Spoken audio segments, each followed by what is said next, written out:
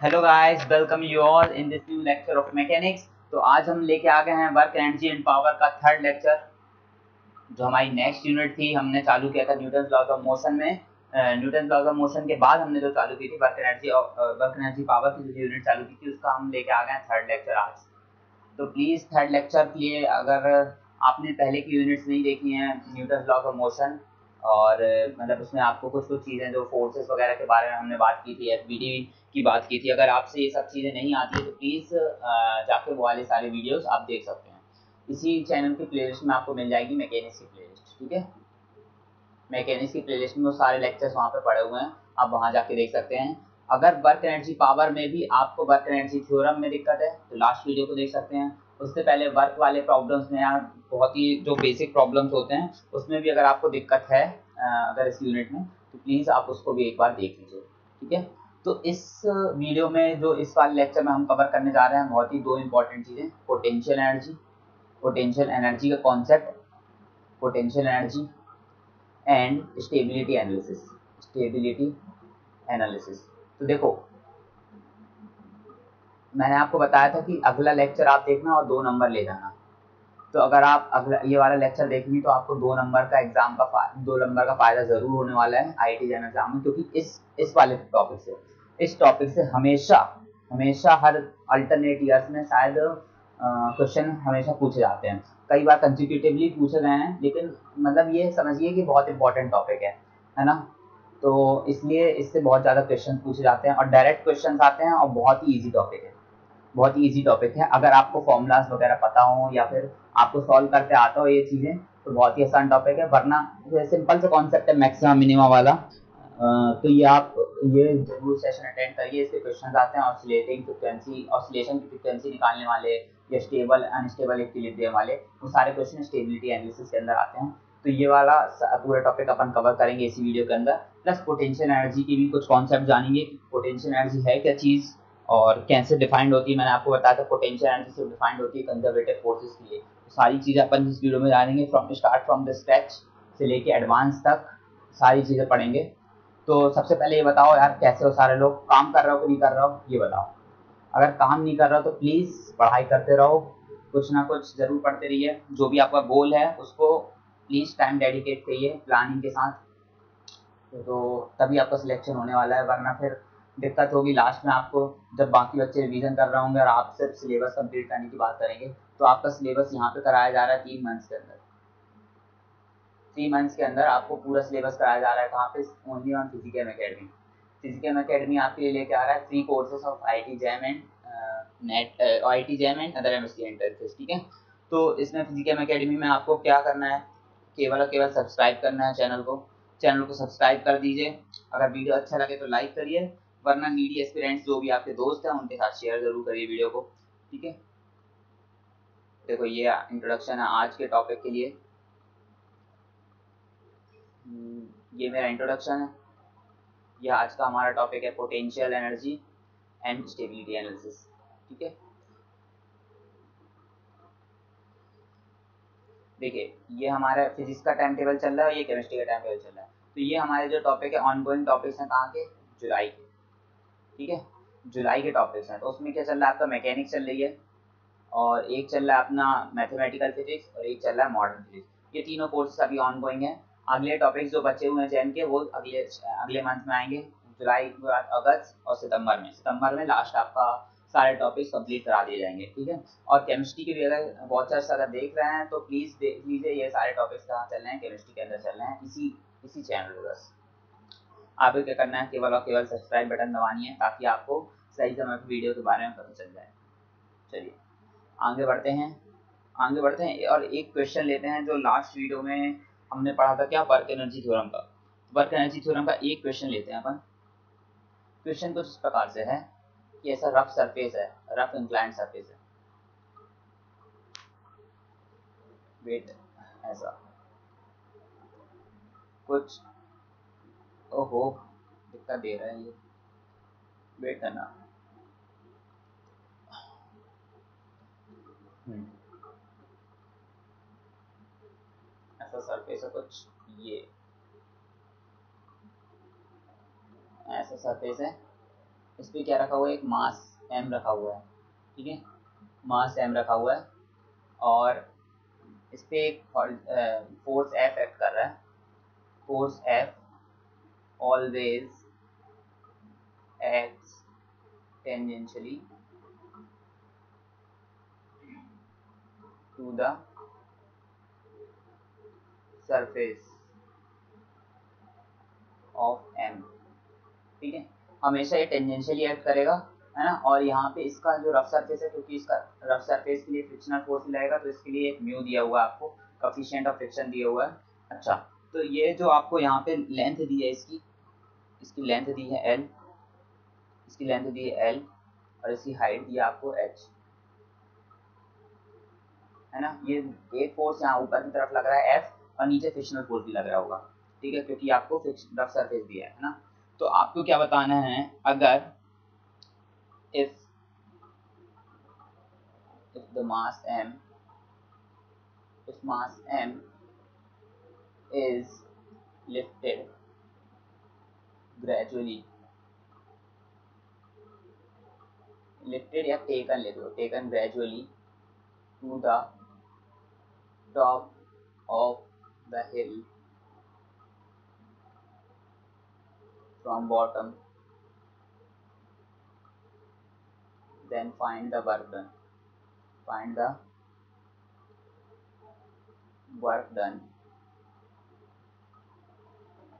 by force F force F के कारण आपको डन निकालना है, ठीक है? समझ में आया क्वेश्चन इसको यहाँ से लेके मास को, इस पॉइंट ए से लेके आपको बी तक ले जाना है। तो इसमें इस एफ़ फोर्स को कितना वर्क करना पड़ेगा? अगर ये केवल टेंजेंशियल ही लग रहा है ना? सरफेस एम की हमेशा टेंजेंशियल लग रहा है फोर्स तो इसमें आपको कितना वर्क करना पड़ेगा? वो बताना आपको, ठीक है? चलिए पॉज करिए ट्राई करने की कोशिश करिए। लास्ट लेक्चर में हमने सारी चीज़ें कवर की थी। कर लिए पॉज खुद से सॉल्व करने की कोशिश करो प्लीज़ वर्क एनर्जी थ्योरम याद है ना सबको? वर्क एनर्जी थ्योरम अगर नहीं याद हो तो ऐसे सुन लो. Work done by all forces is equal to change in kinetic energy याद है ना सबको? भूलना मत इसे, है ना? ये हमारी, इससे सॉल्व करने की कोशिश करिए. कर लिया कॉस सॉल्व करके देखा. ठीक है? देखो ऑप्शन ही आ रहे हैं आपके. ऑप्शंस कुछ ऐसे हैं. फ़र्स्ट ऑप्शन है M G L second option है M G under root of L square plus H square ठीक है? थर्ड ऑप्शन है आपका mu M G L plus M G H fourth option है आपका mu M G H plus M G L ठीक है? ये चार ऑप्शन दिए चलिए, अब मैं क्वेश्चन सॉल्व करता हूँ। क्या दिया आपको डायग्राम में?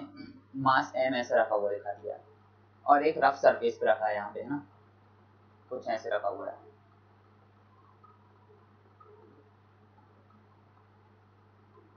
ये दिया आपको मास एम ये है आपका सरफेस ठीक है? मास एम ऐसे रखा हुआ है सरफेस पे, ठीक है? अब इस पर कौन कौन सा फोर्स लग रहा है? एक एफ़ फोर्स लग रहा है हमेशा आगे की तरफ़। ये हमेशा 90 डिग्री बनाएगा नॉर्मल रिएक्शन क्योंकि हमेशा टेंजेंट लग रहा है। एक सरफेस का कांटेक्ट में तो नॉर्मल रिएक्शन लग रहा होगा। नीचे की तरफ़ वेट ऐसा लग रहा होगा। नीचे की तरफ़ वेट ऐसा लग रहा होगा। ऐसे नहीं लगेगा। ठीक है? और ये एंगल आप थीटा एज्यूम कर सकते हैं। अगर इसको करना हो तो आप थीटा एज्यूम कर सकते हैं। लेकिन एल और एच आप, क्योंकि आपको दिया है तो थीटा भी लेने की ज़रूरत नहीं पड़नी चाहिए आपको। चलिए। और ये, यहाँ पे लग रहा है एक फ्रिक्शनल फोर्स ठीक है? क्या लग रहा है यहाँ पे? फ्रिक्शनल फोर्स लग रहा होगा। क्यों? क्योंकि ऑब्जेक्ट की टेंडेंसी है ऊपर मूव करने की। एफ़ फोर्स ऊपर मूव कराना चाह रहा है। है ना? तो नेट फोर्स जब आगे की तरफ़ है तो एक फ्रिक्शनल फोर्स लगेगा ना, जो उसकी tendency of moving moving tendency को रोकेगा या काइनेटिक फ्रिक्शन लग रहा होगा। फ्रिक्शन अगर आपको फ्रिक्शन में कोई दिक्कत है तो प्लीज़ जाके पुराने वीडियो देख लीजिए। फ्रिक्शन बहुत अच्छी तरीके से कवर किया गया है यहाँ सारी चीज़ें कवर कराई हैं, ठीक है?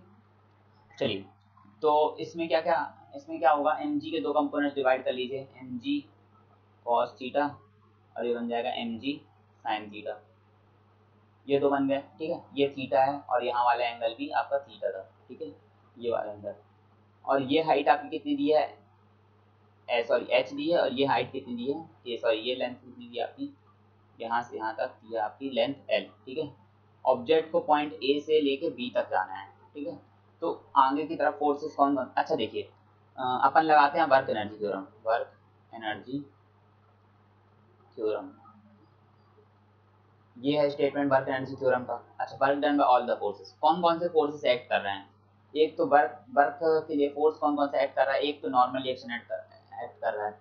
एक फोर्स कौन सा एक्ट कर रहा है? एफ़ एक फोर्स कौन सा एक्ट कर रहा है? फ्रिक्शनल फोर्स छोटा एफ़ एक फोर्स एक्ट कर रहा है एम जी कॉस थीटा और एक फोर्स एक्ट कर रहा है एम जी साइन थीटा ये पाँच फोर्सेस के अलावा कुछ एक्ट कर रहा है? एम जी को हमने दो कंपोनेंट डिवाइड कर लिया। एक, दो, तीन चार और ये पाँच और फ्रिक्शनल फोर्स ठीक है?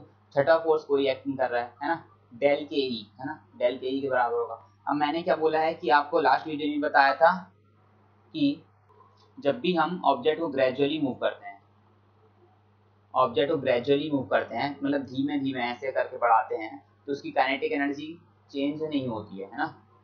ग्रेजुअली मूव करने पे काइनेटिक एनर्जी उसकी चेंज नहीं होती मतलब डेल के ई की वैल्यू ज़ीरो होती है। इतनी बात समझ में आई। अगर डेल के की वैल्यू ज़ीरो हो जाएगी तो हमारी work done by normal reaction work done by F force plus work done by frictional force plus work done by M G cos theta and work done by M G sine theta इसकी value total क्या हो जाएगी? Zero हो जाएगी। इतनी बात सबको समझ में आई।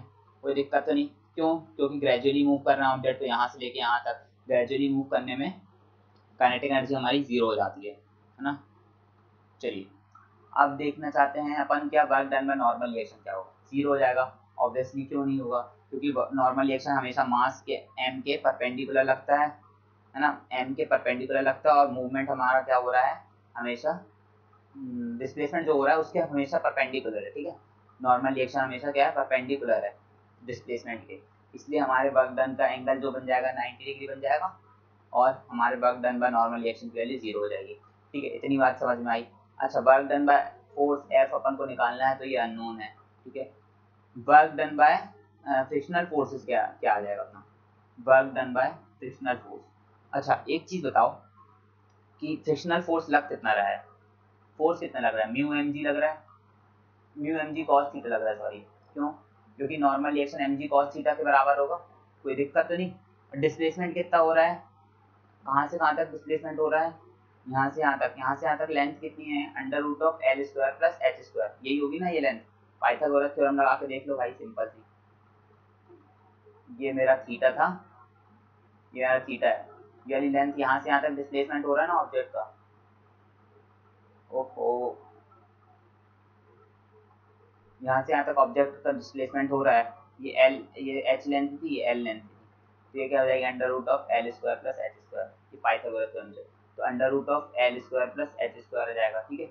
अच्छा इसमें एक माइनस साइन भी आ जाएगा। क्यों आ जाएगा माइनस साइन क्योंकि डिस्प्लेसमेंट हमारा इधर की तरफ़ हो रहा है और फ्रिक्शनल फोर्स एफ़ पीछे की तरफ़ लग रही है। तो इनके बीच में 180 डिग्री का एंगल बनेगा। कॉस 180 डिग्री माइनस वन आ जाएगी। तो मैं सीधे क्या कर रहा हूँ? आपके लिए माइनस साइन यहाँ लगा दे रहा हूँ। तो work done by for frictional force की वैल्यू कितनी आ जाएगी? माइनस म्यू एम जी अच्छा कॉस थीटा की वैल्यू बताओ जरा। कॉस थीटा की वैल्यू यहाँ से कितनी आ जाएगी? बेस अपॉन हाइपोटेनियस आ जाएगी तो कॉस थीटा को L upon under root of L square plus H square ले सकता हूँ multiply with under under root of L square H square ये ये कैंसिल हो जाएगा। तो work done by frictional force की वैल्यू मेरे पास कितनी आ जाएगी minus mu M G L ठीक है? ये आ गई मेरी work done by frictional force की वैल्यू इसको दे दो इक्वेशन नंबर वन इसको सॉरी टू दे दो। है ना? ये तो हम लोग इसको टू का ए दे दो, इसको टू का बी दे दो। ठीक है? ऐसे कर दो। अब किसका फोर्स निकालना है। Work done by M G cos theta and work done by M G sine theta अच्छा एम जी कॉस थीटा जो फोर्स लग रहा है, यहाँ पे देखो। एम जी कॉस थीटा हमेशा नीचे की तरफ़ लग रहा है और डिस्प्लेसमेंट हमारा यहाँ ऊपर आगे की तरफ़ हो रहा है। तो इनके बीच में भी तो 90 डिग्री का एंगल है डिस्प्लेसमेंट और एम जी कॉस थीटा के बीच में, है ना? क्योंकि M G cos theta cos theta since is perpendicular to displacement, therefore, work done by mg cos theta is all, also equals to what? Zero. समझ में आया? जी कॉस थीटा के कारण भी वर्क डन क्या हो जाएगा? हमारा ज़ीरो हो जाएगा। ठीक है? इक्वेशन दे दो टू का सी है ना? अच्छा work done by G sine theta निकालते हैं। जी साइन थीटा एक कांस्टेंट फोर्स है, उसकी वैल्यू चेंज नहीं हो रही है। जैसे फ्रिक्शनल फोर्स भी हमारा कांस्टेंट था क्योंकि काइनेटिक फ्रिक्शन लग रहा होगा, है ना? एंड ऑल्सो पीछे की तरफ़ लग रहा है डिस्प्लेसमेंट की अपोजिट डायरेक्शन लग रहा है, इसलिए माइनस साइन आ जाएगा। डिस्प्लेसमेंट हमारा कितना हो रहा है? L square plus H square अच्छा साइन थीटा की वैल्यू क्या आ रही है हमारे? पिछले इक्वेशन से। देखो ट्रिग्नोमेट्री लगाओ। H upon L square plus H square का अंडर रूट आएगा, ठीक है? तो H upon under root of L square plus H square ये आ गया। Multiply with L square plus H square under root ठीक है? तो इसकी वैल्यू कितनी आ जानी चाहिए? माइनस एम जी एच आ जानी चाहिए। कोई दिक्कत नहीं। Work done by M G sine theta की value minus M G H आ जानी चाहिए। इसको दे दो टू का डी ठीक है? तो अपनी चारों इक्वेशन लिख लो। इक्वेशन नंबर वन अपनी क्या थी? ये वाली इक्वेशन नंबर इसको क्या दे दो? वन दे देते तो वन एंड टू से क्या पता लगेगा अपन को? फ्रॉम वन एंड टू क्या पता लगेगा? Work done by normal reaction, plus work done by M G cos theta, plus work done by M G sine theta, है ना? Plus work done by what frictional force plus work done by force F equals to zero था। ये था equation one इसमें normal reaction की value zero हो जाएगी M G cos theta की वैल्यू ज़ीरो हो जाएगी, है ना? ये इक्वेशन टू से हमें पता चला था। एम जी साइन थीटा की वैल्यू कितनी आ रही? है माइनस एम जी एच आ रही है। अच्छा फ्रिक्शनल फोर्स की कितनी वैल्यू आ रही? है minus mu M G L है ना? ये आ रही है ना अपनी minus mu M G L यही आ रही थी। टू बी से, है ना? अच्छा फोर्स एफ़ की वैल्यू अपन को निकालनी थी। ये वैल्यू यहाँ सब्सिट्यूट करके देखोगे तो क्या आ जाएगा अपना आंसर यहाँ पे लिख देता हूँ final answer work done by force F कितना आ जाएगा? म्यू एम जी है ना? L plus M G H ठीक है? क्या आ गया। एम जी कॉमन ले लिया। क्या जाएगा? म्यू एल प्लस एच ठीक है? Work done by force F ये आ गया मेरा फाइनल आंसर ठीक है करेक्ट आंसर क्या हो जाएगा मेरा? Mu M G L plus M G H है ना? आंसर सी अपना, क्या हो जाएगा? करेक्ट आंसर हो जाएगा। ठीक है? बन गया क्वेश्चन वर्क एनर्जी थ्योरम से किया अपन ने सॉल्व चलिए, अब आगे बढ़ते हैं आज के नए कॉन्सेप्ट की तरफ़। आज का पहले टॉपिक क्या था हमारा? Potential energy potential energy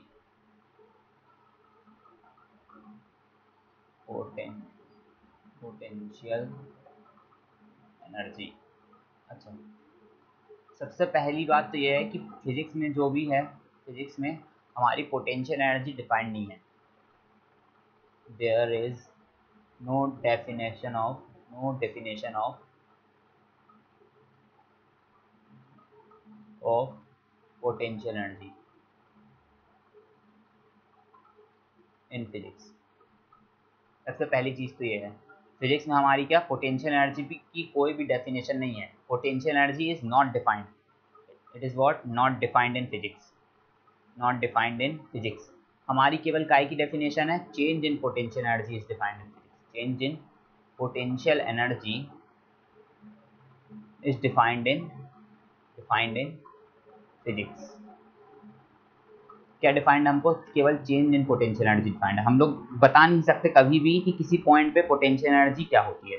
है ना? अच्छा एक चीज़ जान लो कि पोटेंशियल एनर्जी जब भी हम निकालते हैं जो पोटेंशियल एनर्जी की बात या चेंज इन पोटेंशियल एनर्जी की बात करते हैं, वो हम किसके रिस्पेक्ट में करते हैं? किसी ना किसी पोजीशन के रिस्पेक्ट में करते हैं। क्यों? क्यों ऐसा करते हैं? क्यों? क्योंकि पोटेंशियल एनर्जी क्या होती है? द एनर्जी यहाँ लिख लेते हैं ऊपर, इसको रेस करके।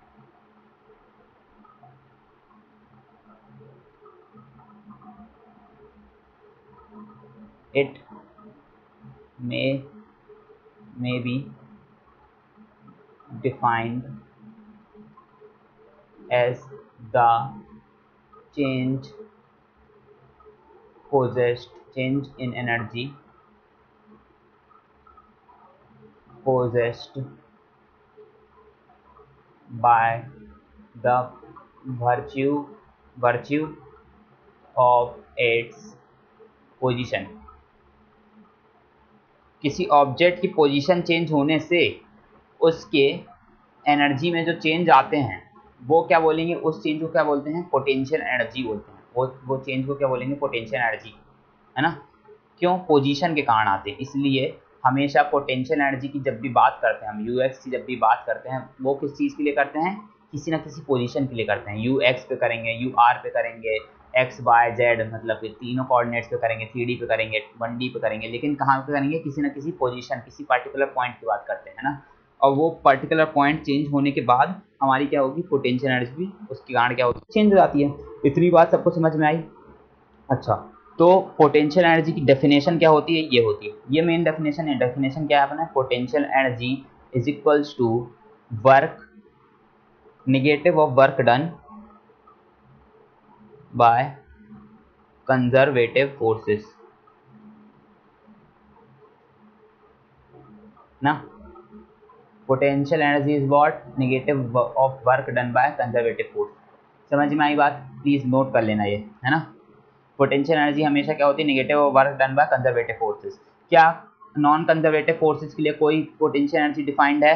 नहीं, कोई डिफाइंड नहीं है. Potential energy due to friction कभी नहीं सुना होगा आपने। कंजर्वेटिव फोर्सेस के लिए ही केवल पोटेंशियल एनर्जी क्या है हमारी डिफाइंड है। इसलिए potential energy is what potential change in sorry change in potential energy is what change in potential energy, negative of work done by conservative forces. Forces. ये हमारी ट्रू डेफिनेशन है। Change in potential energy की। अच्छा। तो जब भी हम बात करते हैं किस चीज़ की? पोटेंशियल एनर्जी की। तो हमारे पास क्या होता है? कोई ना कोई एक सिस्टम होता है। पोटेंशियल एनर्जी क्या होती है? किसी ना किसी सिस्टम की होती है, ठीक है? पोटेंशियल एनर्जी जो भी होती है चेंज इन पोटेंशियल एनर्जी होती है, हमारी सिस्टम की होती है। अच्छा अगर हम बोल रहे हैं कि, जैसे तुमने सुना होगा कि नाइन्थ क्लास में कि एम की वैल्यू यहाँ पे है जी मतलब जी नीचे लग रहा है एच हाइट पे है ये, है ना? एच हाइट पे तो इसकी पोटेंशियल एनर्जी हो जाती थी एम जी एच है ना? तो हम ये करते क्या हैं? हम यहाँ कर रहे हैं ग्राउंड के रिस्पेक्ट में। हम इसकी पोटेंशियल एनर्जी किसके रिस्पेक्ट में निकालना है? ग्राउंड के रिस्पेक्ट में निकालना है। एम हमारा क्या है? सिस्टम है यहाँ पे। एम सिस्टम है, उसकी पोटेंशियल एनर्जी हम किसके रिस्पेक्ट में निकालना है? ग्राउंड के रिस्पेक्ट में।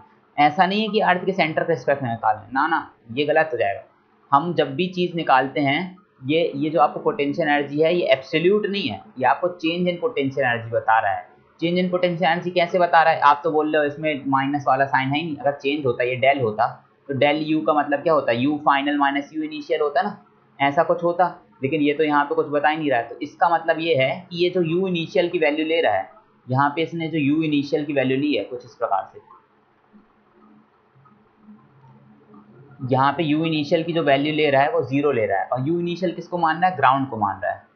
तो ग्राउंड के रेस्पेक्ट में इस हाइट पे कितनी पोटेंशियल एनर्जी यू फाइनल को कितना मान रहा है? एम जी एच मान रहा है ना? तो डेल यू जो निकाल रहा है यहाँ पे क्या आ रहा है? आपका M G H minus zero है ना? तो इसको बोल दे रहा है एम जी एच तो इसकी पोटेंशियल एनर्जी को बोल दे रहा है, एक एब्सोल्यूट टर्म में एम जी एच बोल दे रहा है। लेकिन एक्चुअली में है क्या ये चीज़? है क्या एक्चुअली में? Change in potential energy with respect to ground मतलब किसी ना किसी रेफरेंस पॉइंट के रिस्पेक्ट में ही क्या निकल रही है? आपकी पोटेंशियल एनर्जी निकल रही है। समझ में आई बात? ये बात समझ में आई? बेसिक कॉन्सेप्ट क्लियर हुआ कि चेंज इन पोटेंशियल एनर्जी हमेशा फाइंड करते हैं अपन। कोई भी एब्सोल्यूट पोटेंशियल एनर्जी नहीं फाइंड कर सकते हैं अपन। क्या एब्सोल्यूट पोटेंशियल एनर्जी कभी निकाल सकते हैं? नहीं निकाल सकते हैं। किसी भी सिस्टम की एब्सोल्यूट पोटेंशियल एनर्जी नहीं निकाल सकते हैं। हमेशा जो भी पोटेंशियल एनर्जी निकालेंगे, हम किसी ना किसी रेफरेंस पॉइंट के रिस्पेक्ट में निकालेंगे। U F minus U I की वैल्यू क्या होगी? Minus of work done by conservative forces है ना? ये होगी। तो ये क्या है? ये हमारी रेफरेंस पॉइंट को बता रहा है और ये क्या है? हम जिस पॉइंट के हम निकाल रहे हैं और ये बता रहा है हमारी रेफरेंस पॉइंट को, जिसको हमने रेफरेंस मारा माना होगा अगर इसको हम ज़ीरो ले लें तो यू एफ़ निकल जाएगा हमारा। इस मतलब कि, लेकिन है कि एक्चुअली में चेंज इन पोटेंशियल एनर्जी ही है। अच्छा एक चीज़ और देखते, चलो। एक चीज़ और देखते, चलो। यहाँ क्या होगा हमारा? वर्क डन की सॉरी पोटेंशियल एनर्जी की वैल्यू क्या हो जाएगी हमारी? Minus of work done by conservative forces है ना? तो डी यू को मैं ऐसे लिख सकता हूँ minus of D W of conservative forces ठीक है? तो अगर इसको इंटीग्रेट कर दूँ मैं यू आई से लेके यू एफ़ तक, ठीक है? डी यू को यू आई से लेके यू एफ़ तक इंटीग्रेट कर दूँ तो इसको मैं लिख सकता हूँ minus of F C D X. D W को यही लिख सकता हूँ ना, इंटीग्रेशन के साथ from X one to X two ये लिख सकता हूँ, कोई भी दिक्कत तो नहीं है, ठीक है? या इसको डी आर लिख लो। डी आर लिखने से क्या हो जाएगा, तीनों डायमेंशन में हो जाएगी चीज़ें। इसको क्या लिख लेंगे डी आर लिखेंगे। तो वर्क डन को मैं ऐसे लिख सकता हूँ एफ़ डॉट डी आर है ना? From where from R one to R two ठीक है? तो ये भी क्या हो गई? पोटेंशियल एनर्जी की हमारी क्या हो गई? एक डेफिनेशन हो गई, है ना? कंजर्वेटिव फोर्सेस के कारण जो वर्क डन हो रहा है, उसका निगेटिव यही चीज़, है ना? लेकिन यहाँ पे क्या होगा? केवल और केवल कंजर्वेटिव फोर्सेस ही ऐड होंगे, है ना? यहाँ पे केवल कंजर्वेटिव फोर्सेस ही ऐड होंगे। केवल और केवल वर्क डन किसके द्वारा ऐड होगा? Conservative forces non conservative forces मतलब फ्रिक्शनल फोर्स है ना? और आपका डायरेक्ट फोर्स विस्कस फोर्सेस ये सारे फोर्सेस के द्वारा वर्क डन हम नहीं देखेंगे, ठीक है? समझ में आ गई बात? चलो, आगे बढ़े, कुछ बेसिक क्वेश्चन करते हैं, जिससे कारण और कॉन्सेप्ट में क्लियर आएगी आपकी, फिर आगे बात करते हैं। चलिए क्वेश्चन कर लेते हैं।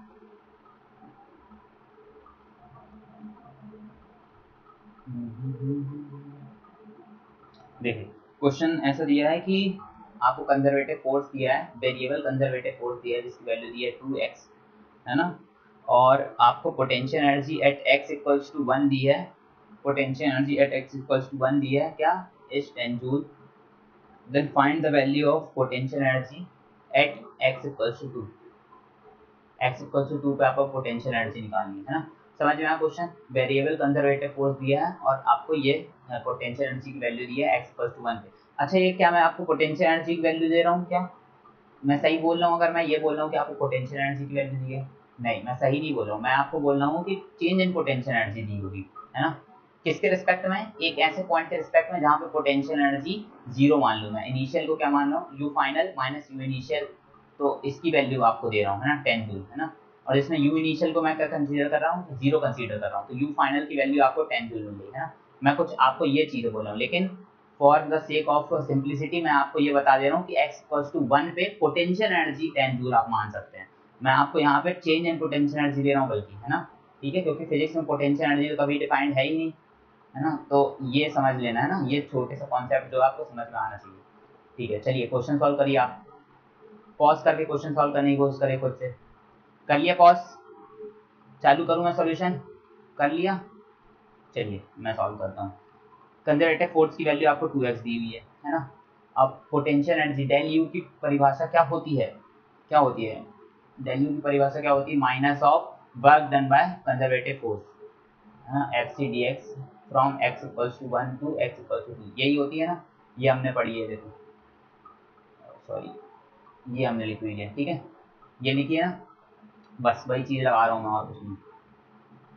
माइनस साइन भी था इसमें है ना? तो u फाइनल अपन को कितना दिया है? माइनस यू इनिशियल है ना? u फाइनल अपन मान लेते हैं x इक्वल्स टू टू पे, है ना? x2 को क्या मान लेते हैं? लिमिट क्या मान लेते हैं? x इक्वल्स टू टू पे u फाइनल मान लेते हैं। और इनिशियल क्या मान ले रहे हैं? अब यहाँ पे x इक्वल्स टू वन पे। अच्छा minus of x equals to one से टू तक, है ना? और इसकी वैल्यू क्या दी आपको? टू एक्स दी है conservative force into D X इसकी वैल्यू क्या जाएगी मेरी? एक्स स्क्वायर अपॉन टू है ना? तो ये टू टू कैंसिल हो जाएगा, बाहर वाला माइनस बचेगा, ऐसा कुछ बचेगा, है ना? टू तो ये टू टू कैंसिल हो गया, ठीक है? तो उसको मैं लिखना चाह नहीं रहा हूँ, है ना? सीधे आपको एक्स स्क्वायर लिख रहा हूँ। ये बचेगा कुछ? आंसर यही बचेगा। और इसकी लिमिट कहाँ से, कहाँ तक है? वन से टू तक। इसका फाइनल आंसर क्या आ जाएगा, बता दो। ये फोर माइनस वन ये बच जाएगा। आंसर क्या आ जाएगा मेरा? फोर माइनस वन इसकी वैल्यू क्या आ जाएगी मेरी? माइनस थ्री आ जाएगी, ठीक है? माइनस थ्री जूल आ जाएगी। अच्छा चेंज दिया है U F minus U I दिया है मेरे को कितना? Minus three joule. अच्छा एक चीज़ बताओ यू फाइनल मेरे को निकालना था। एक्स इक्वल टू टू पे है ना? यू फाइनल कहाँ? एक्स इक्वल टू टू पे है, ठीक है? और यू इनिशियल क्या एक्स इक्वल टू वन पे। एक्स इक्वल टू वन पे कितनी दी है मेरे को? टेन जूल, है ना? टेन जूल दी है। और यू फाइनल कहाँ है? एक्स इक्वल टू टू पे, ठीक है? इसकी वैल्यू माइनस थ्री जूल आ गई है। तो क्या कर दो सिंपली इसको सॉल्व ऐसे कर दो। फिर U at equal to two पे at X equal to two पे कितना जाएगा? टेन टेन उधर चलेगा माइनस थ्री है ना? फिर जाएगा सेवन जूल आ जाएगा। ठीक है? सिंपल बहुत ही बेसिक क्वेश्चन थे, है ना? चलो, और आगे बढ़ते हैं, जल्दी जल्दी, ऐसे सारे क्वेश्चन खत्म करते हैं। फिर अच्छे क्वेश्चन करेंगे। एफ़ सी की वैल्यू कितनी दी है अपन को? कंजर्वेटिव फोर्स की वैल्यू कितनी दी है अपन को? थ्री आई कैप देख करना दोस्तों मेरा जो पेन है थोड़ा सा अच्छा चलता नहीं है। ये वाला बॉल पॉइंट पेन से लिखते हैं। एफ़ सी की वैल्यू अपन को कितनी दी हुई है? Three I cap plus four J cap है ना? अपन को potential energy energy with respect to a reference point which is at zero दी हुई है ten joule at point zero one है ना? यहाँ पे पोटेंशियल एनर्जी कितनी दी हुई है? इतना। और टू थ्री पे अपन को निकालनी है। है ना? Potential energy at point two three two comma three चलो पॉज करके सॉल्व करने की कोशिश करो। सेम फॉर्मूला लगेगा सेम परिभाषा लगेगी बस। डेफिनेशन लगाना पोटेंशियल एनर्जी की। चलो पॉज करके सॉल्व कर लिया। करूँ क्वेश्चन में? चलो डेल यू की वैल्यू कितनी दी है? From point one R one to R two है ना? कितनी दी है? Minus F C D X या फिर डी आर ठीक है? ये दी हुई है अपन को। अच्छा। एफ़ सी की वैल्यू कितनी है मेरी?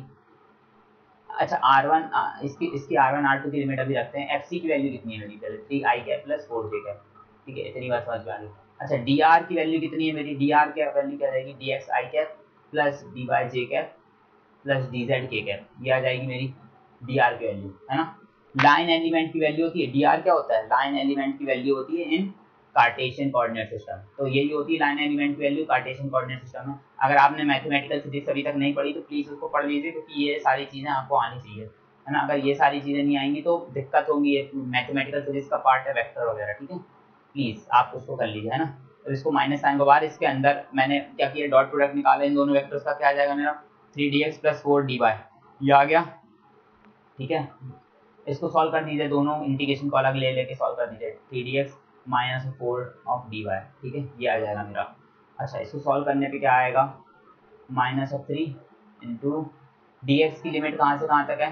डी एक्स की लिमिट कहाँ से कहाँ तक जा रही है? ज़ीरो से टू तक। एक्स की वैल्यू ज़ीरो से टू तक निकालनी है ना? तो निकाल दो। ज़ीरो से टू तक। और वाई की वैल्यू कहाँ से कहाँ तक निकालनी माइनस फोर डी वाई की वैल्यू कहाँ से कहाँ तक निकालनी है? वन से थ्री तक। वाई की वैल्यू कहाँ से कहाँ तक है? वन से थ्री तक। लिमिट रख दी। डी वाई ठीक है? इंटीग्रेट कर दो, क्या आ जाएगा? एक्स आ जाएगा। इसकी वैल्यू ज़ीरो से two plus sorry minus four Y आ जाएगा यहाँ पे वन से थ्री तक, ठीक है? वैल्यू सीधे रख दीजिए। टू माइनस ज़ीरो आ जाएगा माइनस थ्री का मल्टीप्लिकेशन टू माइनस ज़ीरो और यहाँ का जाएगा माइनस फोर इसका जाएगा? थ्री माइनस वन ठीक है? क्या आ गया? वैल्यू क्या आ गई? माइनस सिक्स आ गई। इस पर वैल्यू क्या आ गई है? माइनस एट आ गई, ठीक है? माइनस फोर्टीन आ गए fourteen joule minus fourteen joule आ गए अच्छा U at zero one sorry U at two three को हमने फाइनल माना था इनिशियली माना था इसको अच्छा ये डेल यू की वैल्यू निकाल रहा हूँ ना मैं, दो सेकेंड अपना।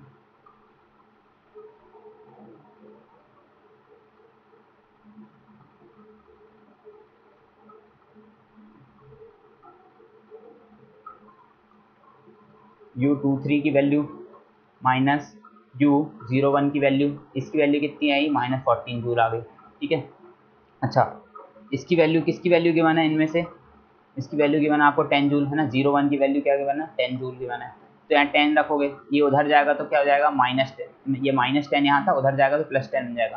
टेन माइनस फोर्टीन आ जाएगा इसका आंसर तो माइनस फोर जूल आ गया। टू थ्री पे कितनी आ जाएगी मेरी वैल्यू टू कॉमा थ्री पे कितनी आ जाएगी मेरी? माइनस फोर जूल हो गया, कोई दिक्कत तो नहीं इसमें? सॉल्व करने में कोई दिक्कत तो नहीं?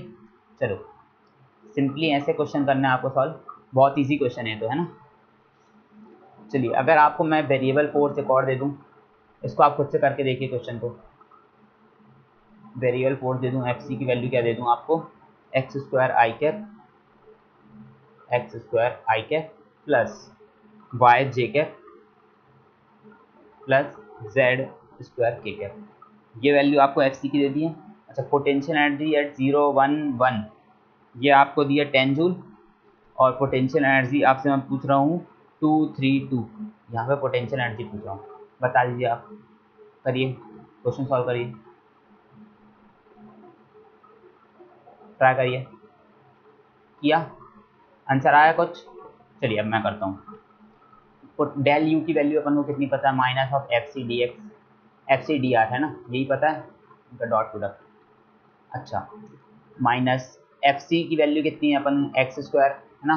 अच्छा line element X square I cap plus Y J cap plus Z square K cap ठीक है? और डी आर क्या ले लूँगा मैं? लाइन एलिमेंट ले लूँगा। यहाँ लिख दे रहा हूँ, है ना? Vector D X I cap plus D Y J cap plus D Z K cap ठीक है? ये इतना मैंने ले लिया है। अच्छा डेल यू की वैल्यू मेरी कितनी आ जाएगी? Minus of X square D X I cap I cap multiplication X square D X हो जाएगा माइनस वाई डी वाई हो जाएगा minus Z square D Z हो जाएगा, ठीक है? एक्स की लिमिट कहाँ से कहाँ तक? ज़ीरो से टू तक, ठीक है? रख दो ज़ीरो से टू तक। वाई की लिमिट कहाँ से कहाँ तक? वन से थ्री तक, ठीक है? वन से थ्री तक अच्छा। जेड की लिमिट कहाँ से? वन से टू तक, इतना आ गया। इसकी एक्स स्क्वायर की वैल्यू क्या जाएगी? X X cube by three ना? Minus X cube by three zero से टू है ना वाई की वैल्यू क्या जाएगी? Y square by two one से थ्री ठीक है? जेड जेड की वैल्यू क्या जाएगी? Z cube by three one से टू चलो सॉल्व करके देखो इसको क्या आएगा क्या आ जाएगा अपना. माइनस ऑफ़ एक्स क्यूब की वैल्यू रख दो वन बाय थ्री कॉमन निकाल लो. एक्स क्यूब की वैल्यू क्या आ जाएगी मेरी? टू का क्यूब माइनस ज़ीरो का क्यूब है ना? टू का क्यूब क्या आ जाएगा? Eight normal eight by three आ जाएगी. अच्छा माइनस अगेन माइनस इस साइन इसका माइनस है ना? इसकी वैल्यू रख दो यहाँ वन बाय टू कॉमन निकाल लेंगे ना? तो वाई स्क्वायर क्या हो जाएगा? Three square minus one square मतलब कि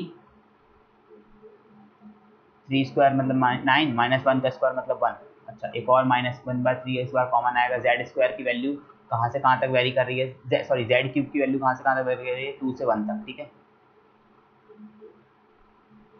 टू से वन तक टू का क्यूब एट माइनस वन का क्यूब वन है ना? चलिए, ये आ गई वैल्यू आपकी। सॉल्व कर दीजिए minus eight by three minus eight upon two क्या हो जाएगा? वन सॉरी फोर हो जाएगा। ये क्या जाएगा मेरा? ए माइनस अगेन क्या हो जाएगा? Seven by three minus seven by three अच्छा ये दोनों को ऐड करिए तो क्या हो जाएगा? Minus four minus fifteen by three तो ये क्या आ जाएगा? इसको सॉल्व करने पे फाइव फाइव आ जाएगा माइनस फाइव तो ये इसकी वैल्यू आ जाएगी नाइन जूल आ जाएगी। ठीक है?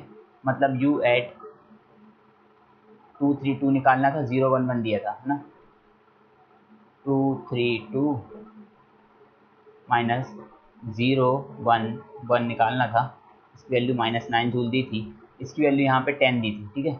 उधर पे जाएगा तो क्या बन जाएगा? टू थ्री टू ये माइनस टेन थी, है ना? उधर पे जाएगा तो नाइन जूल है ना? माइनस नाइन जूल है। टू थ्री टू की वैल्यू वहाँ जाएगी तो पॉजिटिव बन जाएगी टेन माइनस नाइन बचेगा। मतलब क्या बच जाएगा? वन जूल ठीक है? आंसर क्या आ जाएगा? फाइनल आंसर क्या आ जाएगा? वन जूल आ जाएगा। ठीक है? बहुत आसान क्वेश्चन था। बन गया। आगे बढ़ें। चलिए, एक नए कॉन्सेप्ट की तरफ़ और आगे बढ़ते हैं। Gravitational potential energy gravitational potential energy क्या होती है अपनी?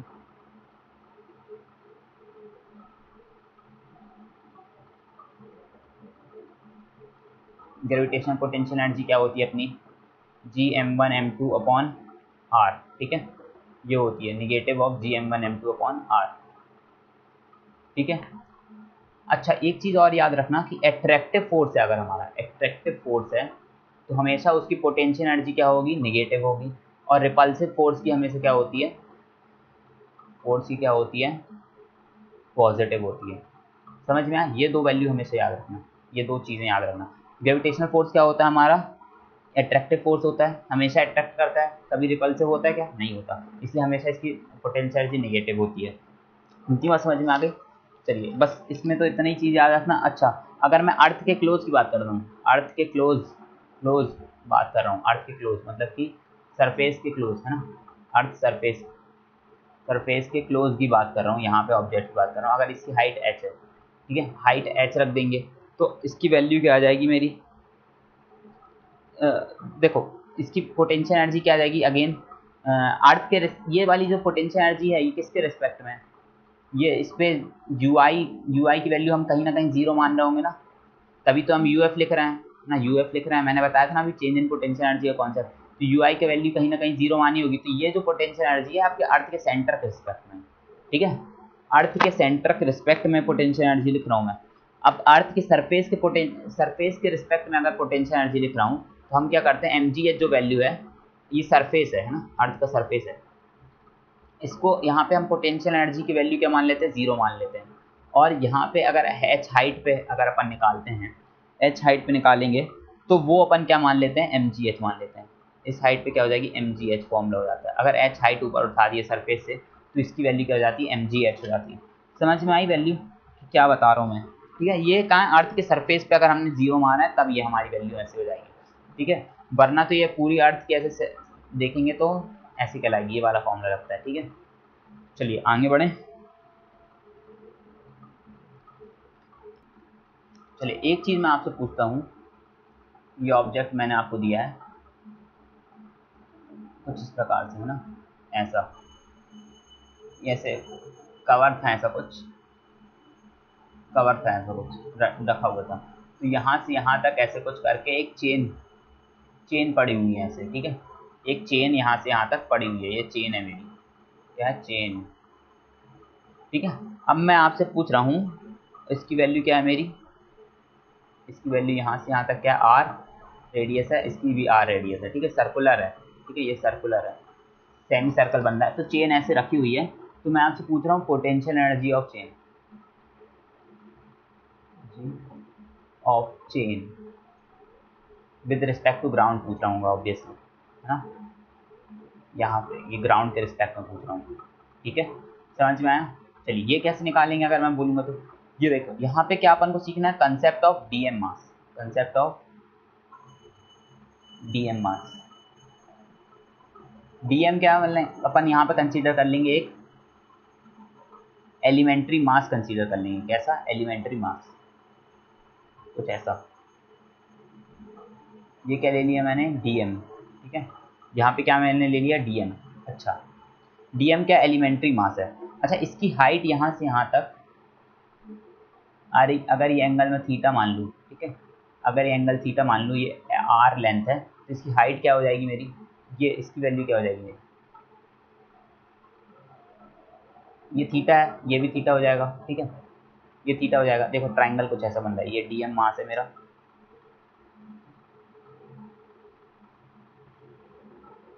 है ना? ये मेरा थीटा है। अच्छा ये जो ये जो वो लाइन है, ये क्या है? आर है अगेन ये भी आर होगी ना? ये भी रेडियस होगी। यहाँ से यहाँ तक ये भी रेडियस है।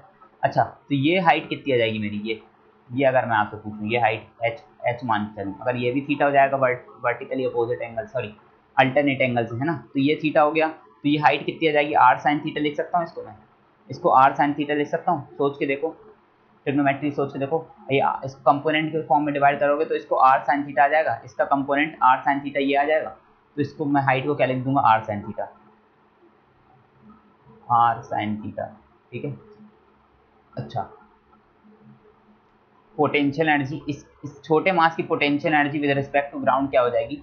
विद रिस्पेक्ट टू ग्राउंड क्या हो जाएगी? ये मेरी हो जाएगी M D M G into H ठीक है? एम जी एच फॉर्मूला होता था तो डी एम जी एच लिख दिया मैंने, क्योंकि छोटे से मास की बात हो रही है। अच्छा डी एम को डी एम रखे रहने देता हूँ। जी की वैल्यू जी है। एच की वैल्यू क्या आर साइन थीटा है। ठीक है। अगर मैं पोटेंशियल एनर्जी बात करूँ पूरे चेन की तो अच्छा इसको इंटीग्रेट कर दूँगा तो डी एम मास इंटीग्रेट हो जाएँगे एक एक करके, यहाँ से लेके यहाँ तक। थीटा की वैल्यू अगर मैं चेंज करते करते अच्छा डी एम की वैल्यू क्या हो जाएगी मेरी? डी एम की वैल्यू क्या हो जाएगी मेरी? यहाँ पे देखते हैं। थोड़ा सा यहाँ पे देखते हैं। डीएम की वैल्यू मेरी क्या है? एक्चुअली में डीएम मास है क्या? मास चेन अगर चेन का पूरा मास पूरा मास कितना है चेन का? चेन का पूरा मास कितना है? एम है, ठीक है? और पूरा रेडियस है चेन का आर ठीक है? चेन का रेडियस कहाँ है? सेंटर से आर है पॉइंट ओ से रेडियस आर है। और चेन कैसी? सेमी सर्कुलर सेमी सर्कुलर नहीं सॉरी क्वार्टर सर्कल है। सर्कल का क्वार्टर है। कितनी चेन की लेंथ कितनी हो जाएगी? Two pi R upon four ये हो जाएगी चेन की लेंथ कोई भी दिक्कत तो नहीं। लेंथ ऑफ़ द चेन कितनी है? पूरी लेंथ की चेन कितनी है? ये पूरा सर्कल बन रहा होगा टू पाई आर का। उसका वन बाय फोर्थ पार्ट है ना यहाँ पे। क्वार्टर सर्कल पर पड़ा हुआ तो मैंने क्या कर दिया? चेन की लेंथ ले ली है two pi R upon four इसकी वैल्यू आ जाएगी पाई आर अपॉन टू ठीक है? तो डी एम मास की वैल्यू कितनी हो जाएगी? है ना? ये करके देखते हैं। चेन की डेंसिटी चेन की डेंसिटी इन टू लेंथ इस छोटी सी लेंथ को मैं क्या बोल दे रहा हूँ? डी एल बोल दे रहा हूँ। इस छोटी सी लेंथ को मैं क्या बोल दे रहा हूँ? डी एल समझ में आ रहा है क्या बोलना चाह रहा हूँ मैं? ये मेरे पास चेन थी यहाँ पे। यहाँ पे डीएम लिखा है। तो चलो, इसको यहाँ लिख दो, कोई दूसरे कलर से लिख देते हैं।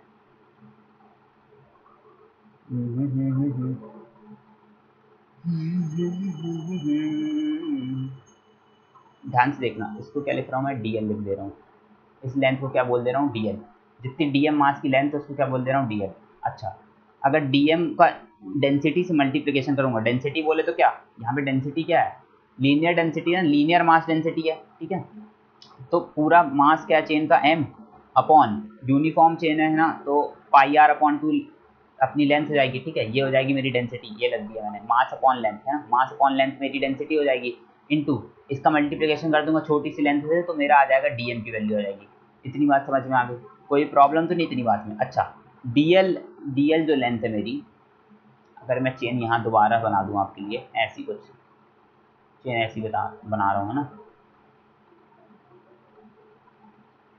ऐसी कंसीडर कर रहा हूँ मैं चेन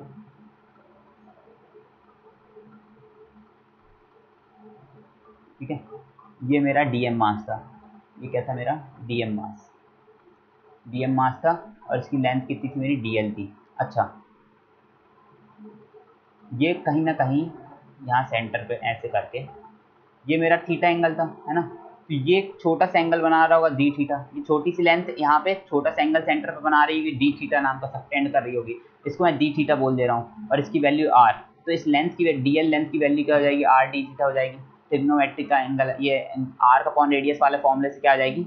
ये आ जाएगा, इसकी वैल्यू क्या डी थीटा की वैल्यू मैं कैसे निकालता हूँ आर का पॉन रेडियस का? आर की वैल्यू क्या है? मेरी डी एल है, अपॉन रेडियस ये है है ना? R D theta D L को मैंने क्या लिख दिया? आर डी थीटा रख दिया।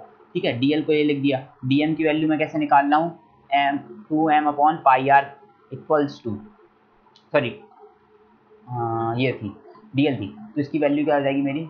Two M upon pi R R D theta. यहाँ पे वैल्यू पुट कर दी डीएल की। आर आर कैंसिल हो गया तो टू एम की value two M upon pi D theta. ये आ गई मेरी डीएम की वैल्यू। कोई भी दिक्कत तो नहीं। अच्छा इस डीएम की वैल्यू मैं यहाँ पे रख दूँगा तो क्या आ जाएगी? इक्वेशन वन दे देता हूँ इसको, है ना? आगे आगे करते हैं ना?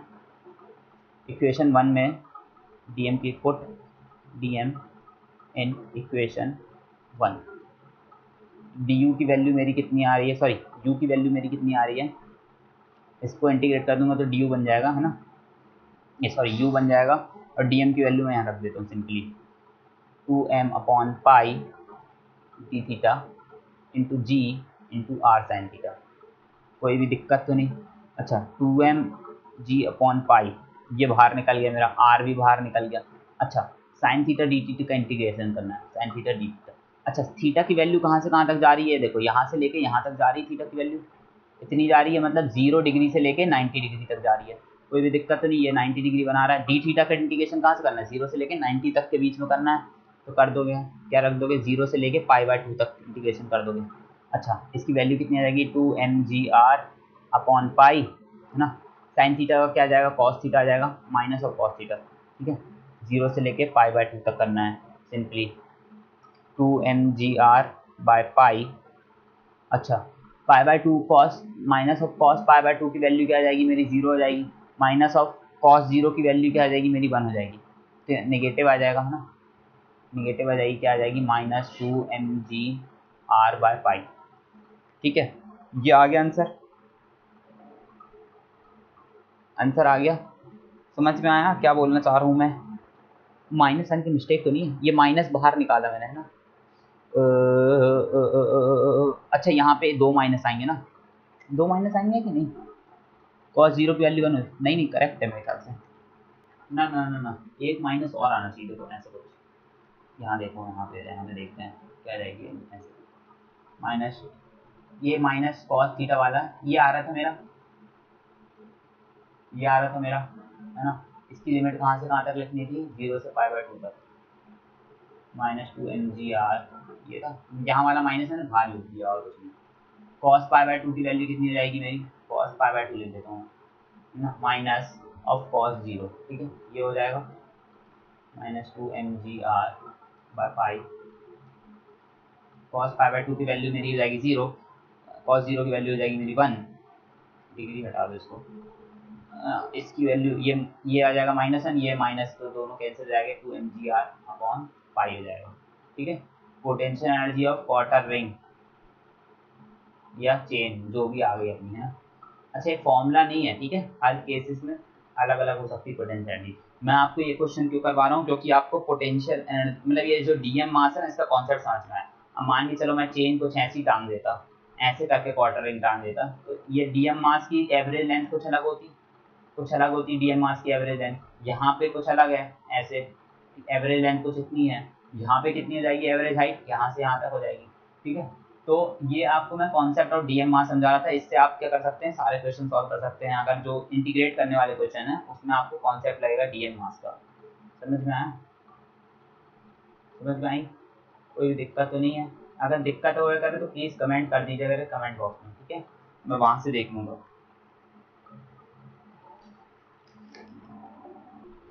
चलिए अब जा, जानते हैं बातें। इसके बारे में स्प्रिंग पोटेंशियल एनर्जी के बारे में। Spring potential energy spring potential energy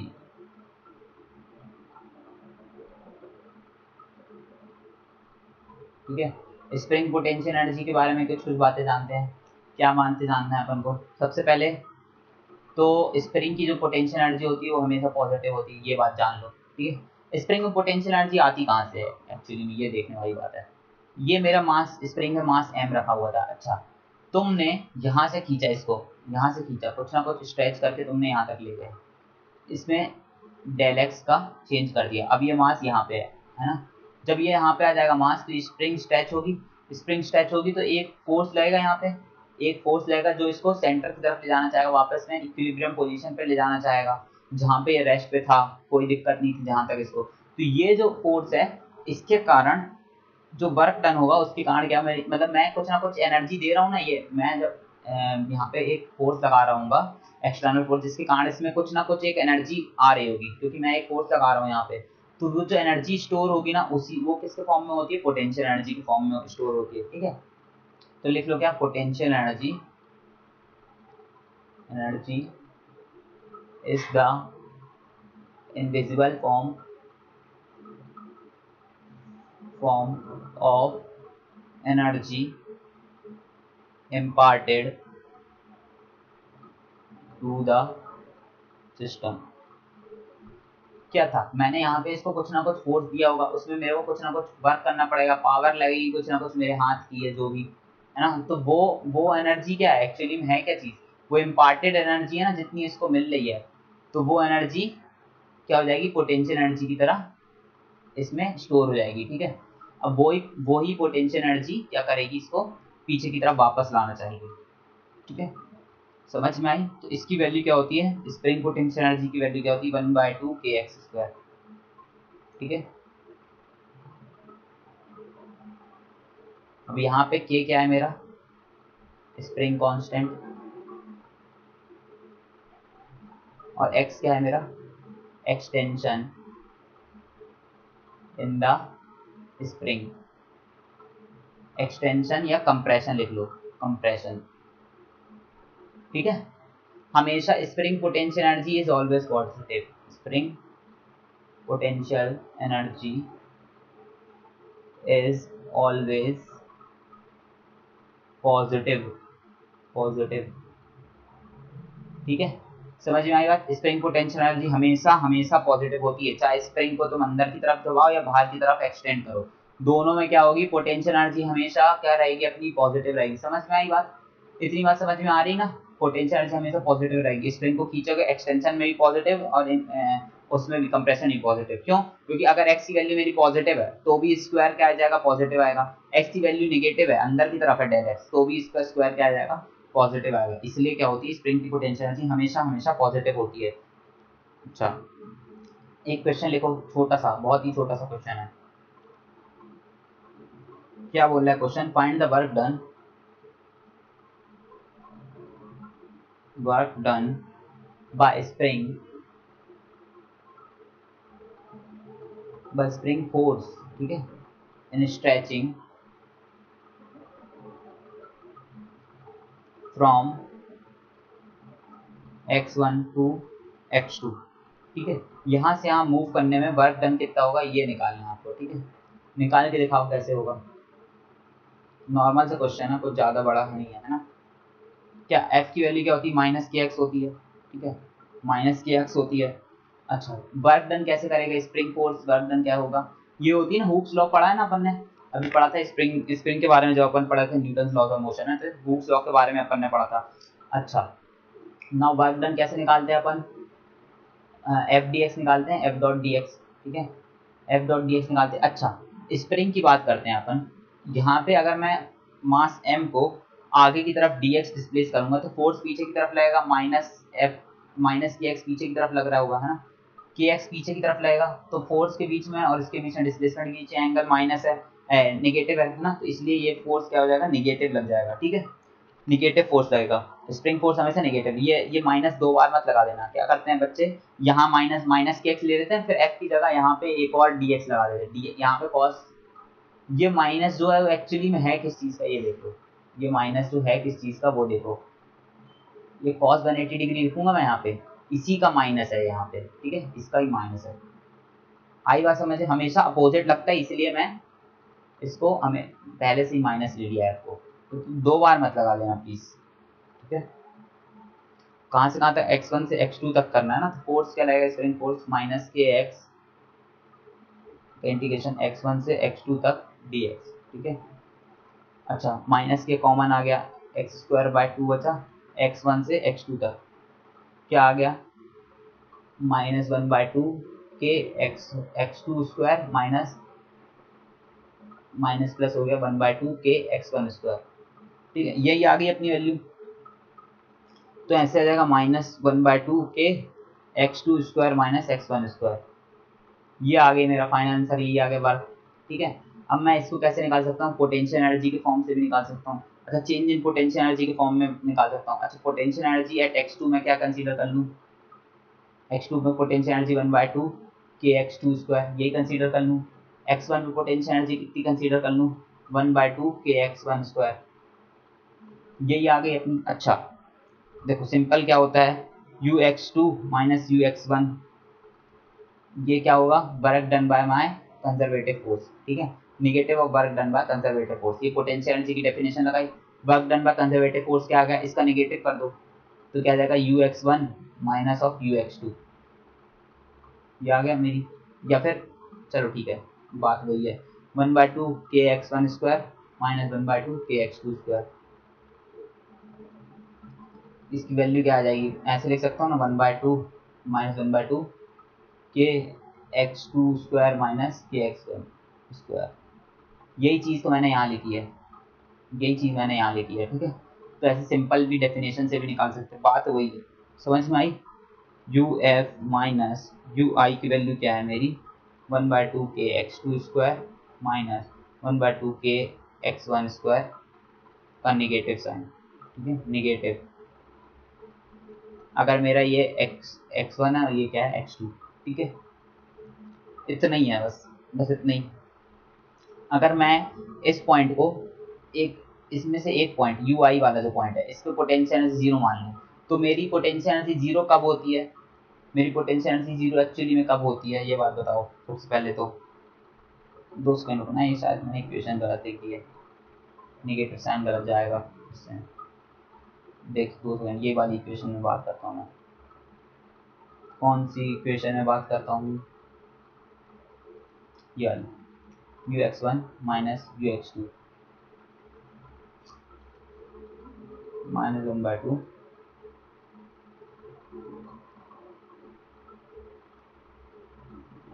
यही आ रही है ना।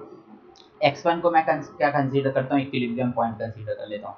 इक्विलिब्रियम पॉइंट पे एक्सटेंशन क्या होता है? ज़ीरो होता है। तो x की वैल्यू x1 की वैल्यू क्या रख दो? ज़ीरो रख दोगे, है ना? तो यू एक्स टू की वैल्यू क्या जाएगी मेरी? One by two K X two square ठीक है? एक्सटेंशन की वैल्यू मैंने ज़ीरो रख दी। तो इसके रिस्पेक्ट में इसकी वैल्यू क्या आ गई? एक्स टू की। One by two K X square K X two square यही चीज़ तो मैं लिख रहा हूँ। अच्छे से लिख लेते हैं यार थोड़ा। एक्स टू की वैल्यू क्या रहेगी one by two K X two square ये, यही चीज़ मैंने आपको बताई थी फॉर्मूले के रूप में। यही यही चीज़ है। चलिए, आगे बढ़ते हैं। बहुत ही सिंपल सी चीज़ें थी तो। समझ में आ गया? ग्रेविटेशनल पोटेंशियल एनर्जी हमारी क्या होती है? हमेशा निगेटिव होती है। क्यों? क्योंकि क्या होता है opposing force sorry attractive force होता है हमेशा। इलेक्ट्रोस्टैटिक पोटेंशियल एनर्जी क्या होती है? पॉजिटिव एंड नेगेटिव दोनों हो सकती है। क्यों? क्योंकि एट्रैक्टिव भी हो सकता है रिपल्सिव भी हो सकता है। ठीक है? सॉरी रिपल्सिव और एट्रैक्टिव दोनों हो सकता है। अच्छा स्प्रिंग पोटेंशियल एनर्जी हमारी क्या होती है? हमेशा पॉजिटिव होती है। क्यों? हमेशा स्प्रिंग क्या करती है? हमेशा अपोज करती है ना अपना चेंज को? अपन जो भी करते हैं, उसका अपोज ही कर रही है ना स्प्रिंग को अच्छा फ्रिक्शनल की क्या पोटेंशियल एनर्जी होगी? पॉजिटिव नेगेटिव क्यों? फ्रिक्शन अपोज करता था, हमेशा पोटेंशियल एनर्जी क्या होनी चाहिए? पॉजिटिव लेकिन फ्रिक्शन की कोई पोटेंशियल एनर्जी नहीं डिफाइंड है। क्यों? क्योंकि फ्रिक्शन खुद ही एक नॉन कंजर्वेटिव फोर्स है। नॉन कंजर्वेटिव फोर्स कोई पोटेंशियल एनर्जी डिफाइंड नहीं होती है। ठीक है? समझ में आया? पोटेंशियल एनर्जी की डेफिनेशन से हमारा काम क्या होता है? आसान काम क्या होता है? वर्क डन हमारा इजीली कैलकुलेट हो जाता है। इजीली कैलकुलेट कर सकते हैं। अच्छा अगर मान ली चलो हम तुमको बोल दें यहाँ पे यहाँ पे क्या बोल दें? और आपको मैं क्या बोल दूँ कि वर्क डन निकालना है? बहुत ऊट पटांग इंटीग्रेशन दे दूँ आपको फोर्स का। फोर्स का दोनों ऊट पटांग इंटीग्रेशन दे दूँ एक्सटेंशन दे दूँ यहाँ से यहाँ तक। तो आप क्या करोगे, इसका इंटीग्रेशन करने में परेशान हो जाओगे, है ना? अभी तो आसान था तो ये आंसर आपका नहीं आने वाला। यहाँ पे मैं वर्क डन आपको कैलकुलेट करने बोल दूँ तो आप उस पॉइंट पे निकाल दोगे और दूसरे वाले पॉइंट पे दोनों में पोटेंशियल एनर्जी कैसे निकाल दोगे वाले फॉर्मूले one by two K X square से। और सीधे सीधे उसमें आंसर में पुट कर दोगे, ठीक है? इसमें फोर्स वगैरह का कोई रोल काल नहीं रहेगा, ठीक है? सिंपली आंसर आ जाएगा। तो ऐसा सीन होता है। समझ में आया?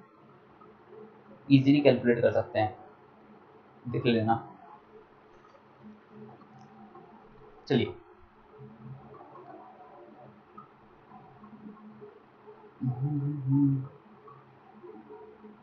आज का जो हमारा मेन टॉपिक था मेन टॉपिक क्या था हमारा? स्टेबिलिटी एनालिसिस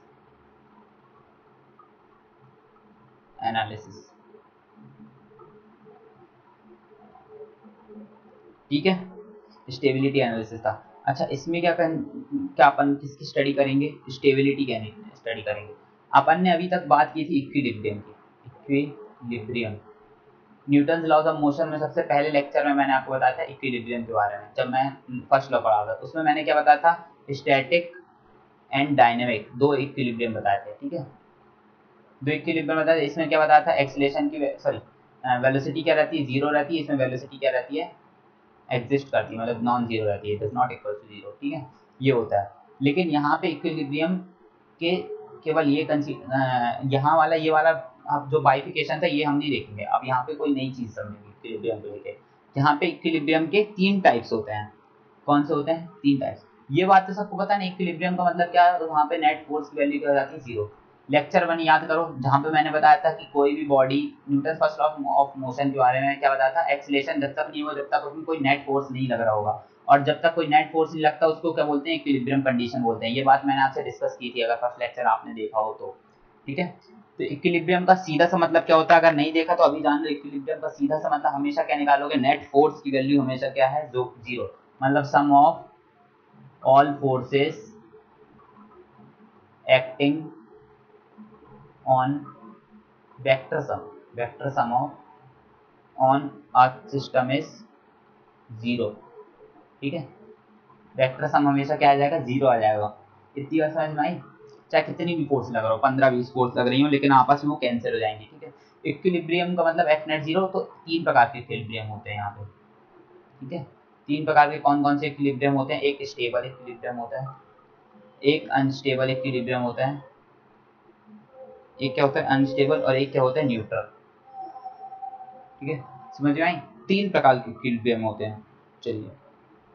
अब उसको भी एक एक करके समझ लेते हैं, तीन प्रकार के इक्विलिब्रियम कैसे होते हैं।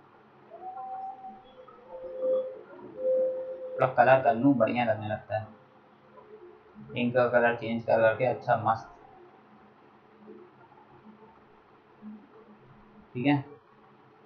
न्यूट्रल को क्या छोड़े? न्यूट्रल को न्यूट्रल को भी कलर कर देते हैं ऑरेंज कलर से कर देते हैं, ठीक है? येलो कर देते हैं येलो येलो डर्टी येलो ये तीन प्रकार के इक्विलिब्रियम अपने हो जाते हैं। अब बात करते हैं आगे की तरफ़। अच्छा अपन, अब अभी तक अपन ने क्या बात पढ़ी थी? एक बात ये पढ़ी थी अपन ने कि डी यू की वैल्यू क्या होती है? सॉरी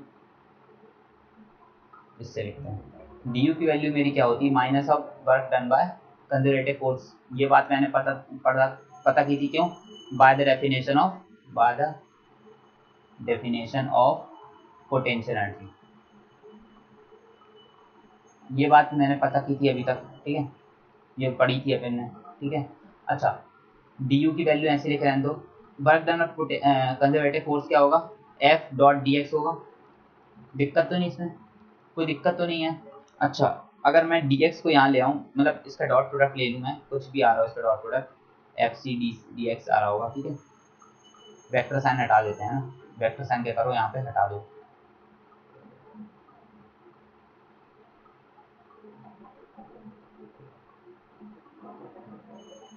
बाय हम्म बड़ी दिक्कत है। By the definition of potential energy D U is equal to minus of work done by conservative force अब इसकी वैल्यू क्या आ रही है? मेरी डी यू की वैल्यू क्या आ रही है? Minus of F C D X ठीक है? Conservative force into D X displacement अच्छा ये डीएक्स को मैं यहाँ ले आऊँ तो एफ़ सी की वैल्यू क्या आ जाएगी? Minus of D U by D X हो जाएगी। कोई दिक्कत तो नहीं? अच्छा D U by D X मेरा क्या होता है? जनरली अपन ने मैथमेटिक्स में क्या पढ़ा है? इसकी वैल्यू क्या होती है? Slope slope slope of U X graph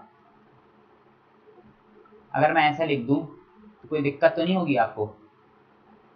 यही बात होती ना U D U by D X क्या होता है? स्लोप होता है ना अपना। D D F by D X अपन निकालते थे स्लोप निकालते थे कि नहीं निकालते थे? जब आपने इलेवेंथ क्लास में पढ़ा होगा। अगर यू एक्स ग्राफ है, कुछ ना कुछ मेरे पास। कुछ ना कुछ ऐसे यू एक्स ग्राफ है यू एंड एक्स का अगर इसका स्लोप निकाल लूँगा इस पॉइंट पे तो मुझे फोर्स की वैल्यू मिल जाएगी कंजर्वेटिव फोर्स की। इसका निगेटिव कर दूँगा निगेटिव ऑफ़ कंजर्वेटिव फोर्स की। यही वैल्यू बोलना चाह रहा हूँ। D U by D X value यही बताना चाह रहा हूँ आपको यहाँ पे। समझ में आई? क्या बोलना चाह रहा हूँ मैं? तो ये प्लीज़ नोट कर लीजिए, ये दो चीज़ें बहुत इंपॉर्टेंट है। और डी यू यहाँ पे लिख लो साइड में। D U by D X is the slope of conserve slope of U X graph ठीक है। ये सारी चीज़ें नोट कर लीजिए पॉज करके नोट कर लिया। चलो, अब मैं बताऊँ स्टेबल अनस्टेबल इक्विलिब्रियम सारे सारे इक्विलिब्रियम अपन एक ही जगह पढ़ते हैं, ठीक है?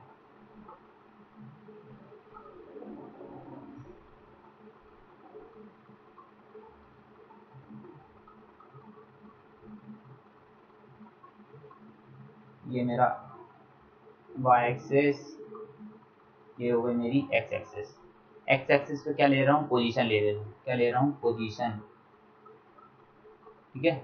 इसको आर ले लो, है ना? पोजीशन ले लो आर ठीक है? एक्स मतलब एक कोऑर्डिनेट को बताता है इसलिए, है ना?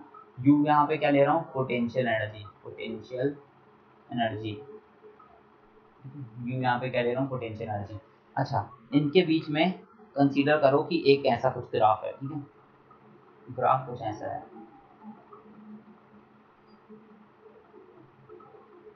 यहाँ पे ऐसा कुछ ग्राफ हो रहा है मेरा, ना? ठीक है? समझ में आई बात?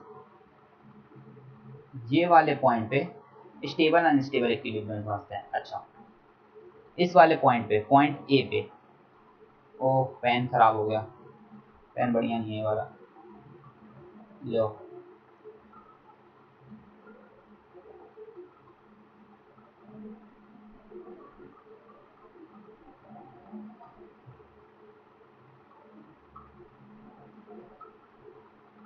अब बताओ, एक चीज़ बताना यहाँ पे ना। कलर कलर भरना पड़ेगा तुम्हारे लिए, तब समझ में आएगा तुमको तो उसके। ये पॉइंट है मेरा, है ना? इस पॉइंट को मान दे रहा हूँ ए एक ये पॉइंट है मेरा। इस पॉइंट को मान दे रहा हूँ बी और यहाँ पे कोई पॉइंट कंसीडर कर लो, क्या सी ठीक है? ये तीन पॉइंट्स हैं ना?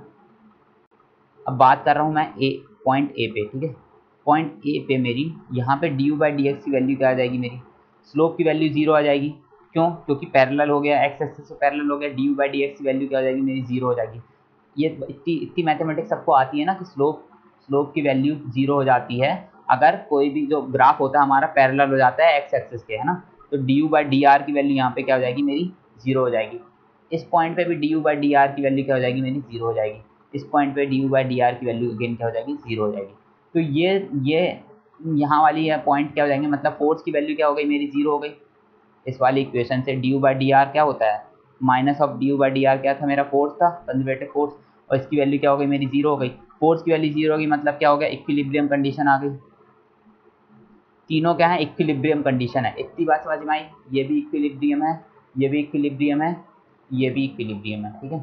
तीनों क्या है? तीनों इक्विलिब्रियम है। इतनी बात समझ में आई? क्यों? क्योंकि फोर्स की वैल्यू मेरी ज़ीरो हो गई। मतलब यूएक्स ग्राफ में स्लोप की वैल्यू जब जब ज़ीरो होगी, वो क्या है? इक्विलिब्रियम पॉइंट हो जाएगा। समझ में आया? इतनी बात समझ में आई? सिंपल सी बात। चलिए। तो यहाँ पे देखते हैं। यहाँ पे। इस पॉइंट की बात करते हैं यहाँ पे मान के चलो, मैंने एक बॉल रखी, ठीक है? एक बॉल रखी, और इसको ढड़काया यहाँ से यहाँ तक गई, ठीक है? अब क्योंकि पोटेंशियल एनर्जी है, इसके पास थोड़ी सी थोड़ी सी काइनेटिक एनर्जी भी है तो यह काइनेटिक एनर्जी के कारण थोड़ी ऊपर तक चली जाएगी, ऐसे। फिर वापस ऐसे वापस आइए, ऐसे करते करते। यहाँ पे इसके ऑसिलेशन क्या हो जाएँगे? डेड हो जाएँगे, ठीक है?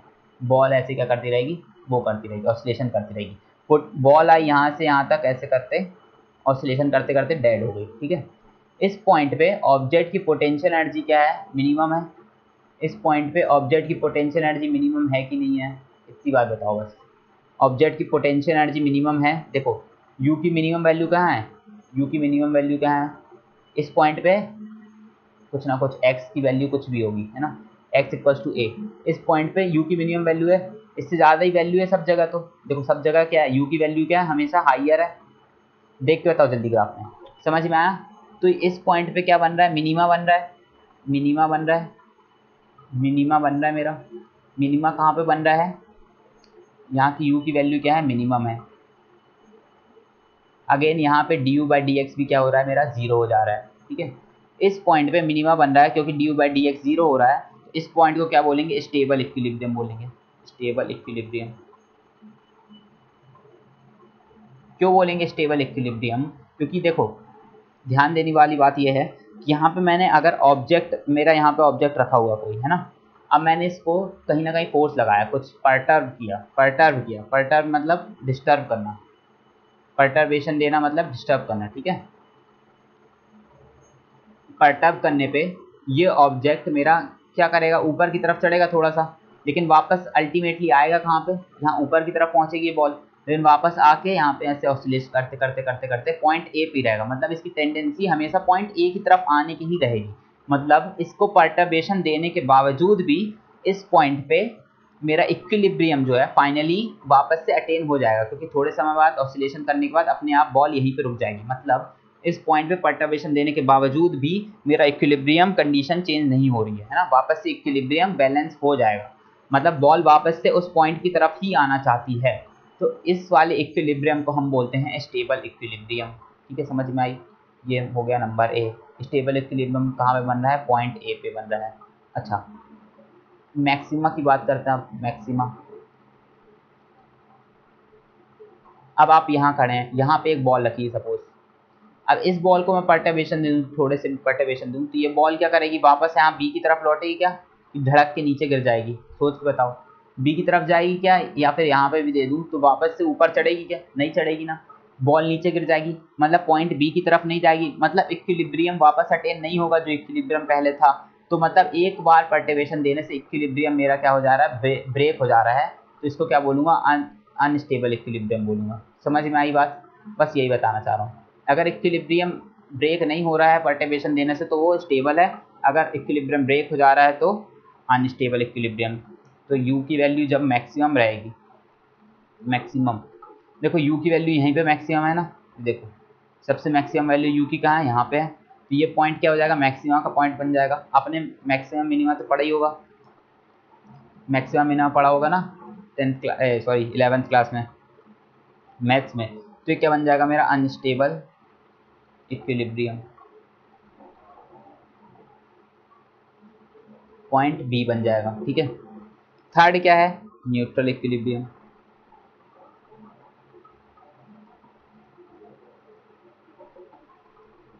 यहाँ पे क्या होगा? अगर मैंने बॉल रखी है यहाँ पे, यहाँ पॉइंट सी पे बॉल रखी है, अगर मैंने इसको धक्का दिया तो ये ऐसे करके यहाँ आगे की तरफ़ चलने लगेगी, ये यहाँ ऐसे धक्का दिया तो अगेन आगे की तरफ़ चलने लगेगी। मतलब इक्विलिब्रियम मेरा break D U by D R की वैल्यू कभी ज़ीरो ही रहेगी। चाहे कितना भी धक्का मारते जाओ कॉन्स्टेंटली उसकी वैल्यू हमेशा ज़ीरो बनी हुई है। तो मतलब इस इक्विलिब्रियम मेरा ब्रेक ही नहीं हो रहा। पर्टर्बेशन देने से ब्रेक ही नहीं हो रहा। तो इस पॉइंट को क्या बोलेंगे? न्यूट्रल इक्विलिब्रियम मतलब कि चाहे कितना भी धक्के लगा लो, तुम इक्विलिब्रियम ब्रेक कर ही नहीं पाओगे। यहाँ पे तो हमने इक्विलिब्रियम ब्रेक कर दिया था ना, देखो, यहाँ पे अगर मैं धक्का दूँगा, यहाँ पे कुछ ना कुछ धक्का दूँगा। यहाँ पे यहाँ पे धक्का दे दिया मैंने। यहाँ पे आ गई बॉल बॉल क्या कर गई मेरी? यहाँ पे आ गई। यहाँ पे जब बॉल आ जाएगी मेरी, अगर बॉल मेरी यहाँ पे आ रही है तो यहाँ पे पॉइंट आने से क्या होगा? कुछ ना कुछ स्लोप आ गया इसका। ये देखो, कुछ ना कुछ स्लोप आ गया होगा।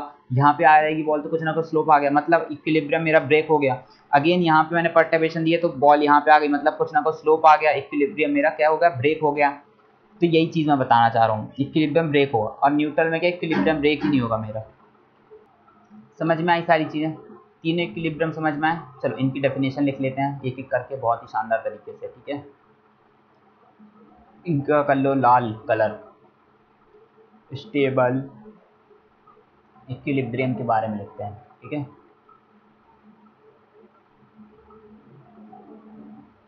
If we provide slight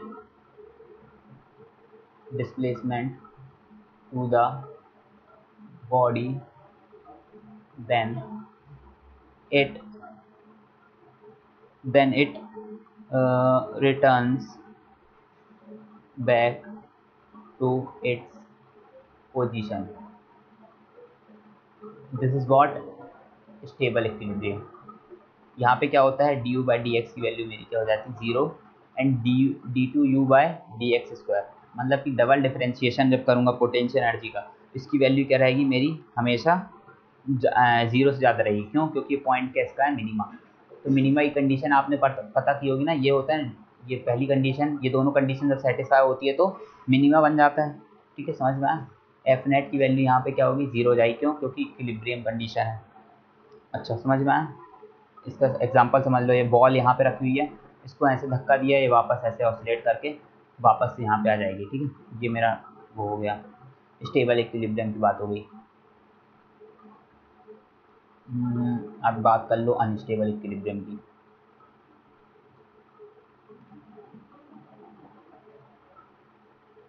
ink दिख रही है ना? इंक दिख रही हो होपफुली दिख तो रही है वैसे।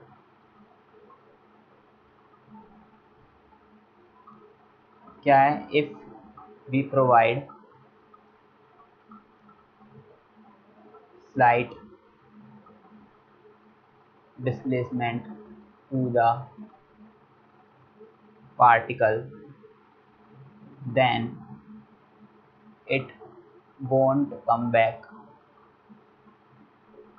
back to its origin uh, uh, to its initial position. Initial position पे वापस नहीं आएगा, ठीक है? तो ये वाला क्या हो जाएगा? इसमें D U by D X की वैल्यू क्या हो जाएगी? मेरी ज़ीरो हो जाएगी, क्योंकि इक्विलिब्रियम है। And D two U by D X square की वैल्यू मेरी क्या हो जाएगी? लेस देन ज़ीरो हो जाएगी। क्यों? क्योंकि मैक्सिमा की कंडीशन है। मैक्सिमा समझ में आया? यहाँ पे भी अगेन एफ़ नेट ज़ीरो हो जाएगा मेरा। एफ़ नेट ज़ीरो एंड ये वाली कंडीशन क्या हो गई? यहाँ पे बॉडी है। इसको वेट कर दिया तो ये नीचे गिर जाएगी, ठीक है? यहाँ से नीचे गिर जाएगी या ऐसे नीचे गिर जाएगी। ठीक है वापस नहीं आएगी। तो ये वाली कंडीशन इस इस पॉइंट पे हो गई। बॉल के ऊपर एक छोटी सी बॉल रखी हुई है। ठीक है? ये वाली कंडीशन हो गई। चलिए, अब एक और चीज़ लिख लीजिए। तीसरा।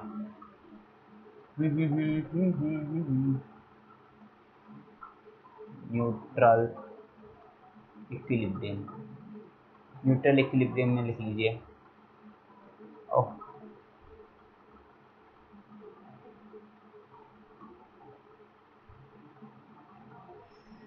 इसमें क्या होता है? पोटेंशियल एनर्जी मेरी क्या रहेगी? कांस्टेंट रहेगी। पोटेंशियल एनर्जी मेरी कांस्टेंट रहेगी। Body will remain body will remain in the neutral neutral equilibrium position neutral position even if slight displacement given to it. Slight displacement देने के बावजूद भी बॉडी इक्विलिब्रियम पोजीशन नहीं छोड़ती है और उसी इक्विलिब्रियम पोजीशन में रहती है। जैसे कि ये ये बॉल है, इसको स्लाइट डिस्प्लेसमेंट दे दो। ये पोटेंशियल एनर्जी मेरी क्या है? कांस्टेंट है हर जगह पे इस पर तो ऐसे ही ऐसे मूव करती रहेगी मतलब यहाँ मूव करने लगेगी अगेन करती जाएगी करती जाएगी इन्फिनाइट तक। तो मतलब इसका मतलब क्या हुआ मेरा? ये वाली जो मेरी इक्विलिब्रियम कंडीशन होती है, इसको क्या बोलते हैं? न्यूट्रल इक्विलिब्रियम यहाँ मेरी D U by D X value भी क्या होती है? ज़ीरो होती है and D two U by D X square की वैल्यू भी मेरी क्या हो जाती है? ज़ीरो हो जाती है एंड फर्दर डिफ्रेंसिएशन भी ज़ीरो हो जाता है। समझ में आए तीनों वैल्यू समझ में आई? ठीक है, ना ये मैक्सिमा है, ना ये मिनिमा है। चलिए, अगर इतनी वैल्यू आपको समझ में आ गई, बस इतना ही समझ में आ गया ना, ये तीन चीज़ें समझ में आ गई तो आपके आधे क्वेश्चन तो स्टेबिलिटी एनालिसिस के हो गए, ठीक है? ये तीनों इक्विलिब्रियम समझ में आ गए। ये, यहाँ पे क्या होगा? स्टेबल में क्या होगा? D U by D X की वैल्यू मेरी क्या होगी? Zero and D two U by D X square क्या वैल्यू अगेन क्या हो जाएगा? Greater than zero minima D U by D X की वैल्यू मेरी क्या होगी? Zero D two U by D X square की वैल्यू क्या हो जाएगी? लेस देन ज़ीरो क्या हो जाएगा मेरा? मैक्सिमा यहाँ पे D U D U by D X की वैल्यू मेरी हो जाएगी zero and D two U by D X square की वैल्यू क्या हो जाएगी मेरी?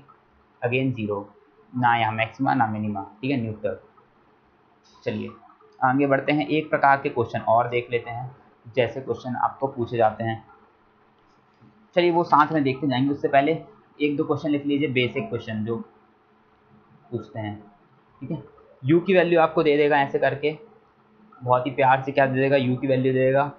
Four X square minus two X plus one, है ना? चलो एक काम करो यू लिख लेते हैं गिवन दो सेकेंड लिखना इसको भूल जाओ। ये लिखना यू यू की वैल्यू क्या लिख लो आप? U is given as eight minus eight X plus X square ठीक है? Then find the position position of stable and unstable equilibrium ये दो पोजीशंस आपको निकालनी है। ठीक है? सॉल्व करके देखो क्वेश्चन सॉल्व करके देखो। कंडीशंस लगानी है और कुछ नहीं। D U by D X की वैल्यू क्या कर दो? सबसे पहले तो ज़ीरो कर दो। मतलब क्या कर दो? Minus eight plus two X की वैल्यू क्या कर दो? ज़ीरो ठीक है? एक्स की वैल्यू क्या जाएगी? एट अपॉइंट टू मतलब कि फोर एक्स की वैल्यू क्या आ जाएगी? फोर फोर मीटर ठीक है? फुट कर दो. यू पे फुट कर दो four metre sorry sorry sorry sorry ये तो पोटेंशियल एनर्जी चल जाएगी. अब पता कैसे लगाओगे फोर मीटर जो आपकी आई है? वो आपकी क्या है? स्टेबल है अनस्टेबल है? तो अगेन डिफ्रेंशिएशन करो इसका. डिफ्रेंशिएशन करो इसका. क्या? फर्दर डिफ्रेंशिएशन करो. D U by D X का क्या करो? एक बार और डिफ्रेंशिएशन करो. क्या करोगे? इसकी वैल्यू क्या जाएगी? टू आ जाएगी which is greater than zero मतलब क्या? मिनिमा मिनिमा मतलब क्या? स्टेबल इक्विलिब्रियम मतलब x equals to four meter is an is a stable equilibrium. Is a is a stable equilibrium. समझ में आ गई बात? अनस्टेबल इक्विलिब्रियम कहीं बन रहा है क्या? नहीं बन रहा। क्योंकि एक ही पॉइंट है ना बस। केवल एक ही पॉइंट है स्टेबल इक्विलिब्रियम के लिए। ठीक है? समझ में आई? चलिए थोड़ा सा और आगे बढ़ते हैं। इस बार क्या लिख लो आपकी पोटेंशियल एनर्जी की वैल्यू लिख लो क्या? Twelve x minus eight minus x u ठीक है, बस twelve x minus x u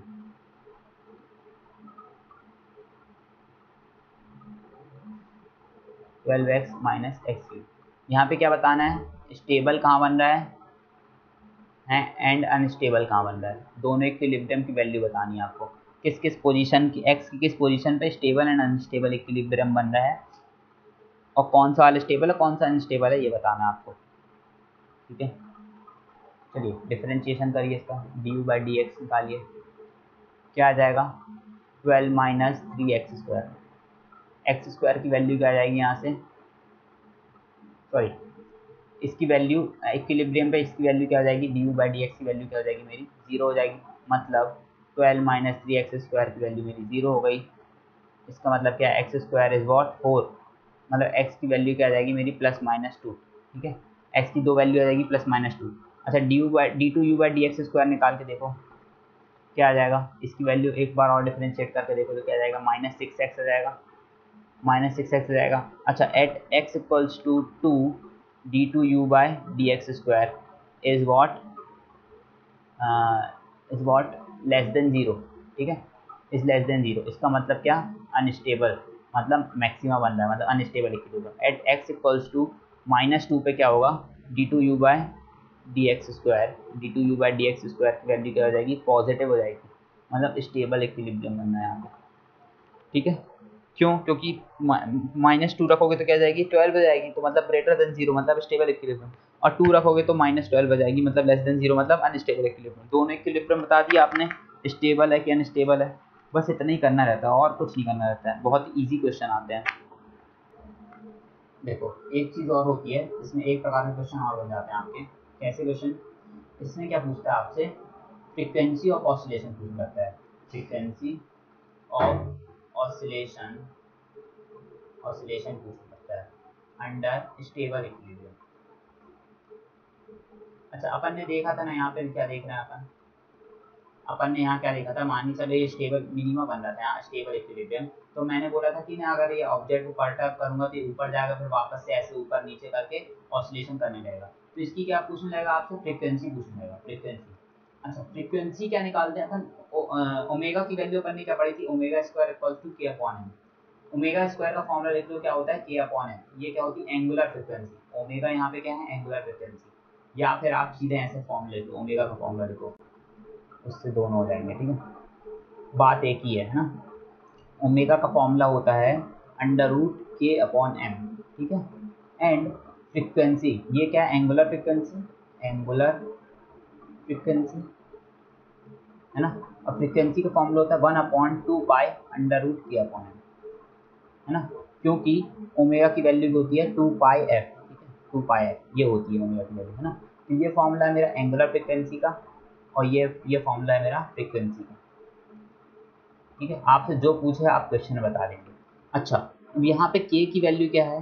के की वैल्यू है मेरी यहाँ पे d two b d two u by d x square या और d two u by d r square ये होगी मेरी के की वैल्यू ठीक है?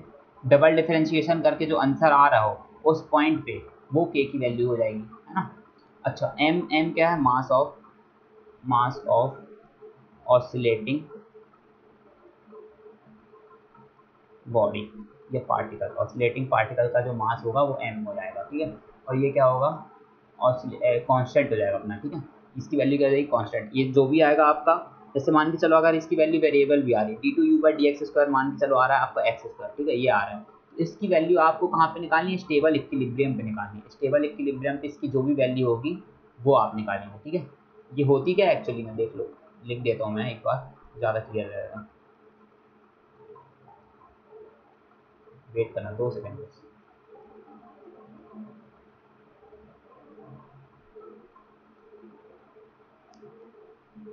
के क्या के की वैल्यू क्या कहलाती है मेरी? के की वैल्यू क्या कहलाती है?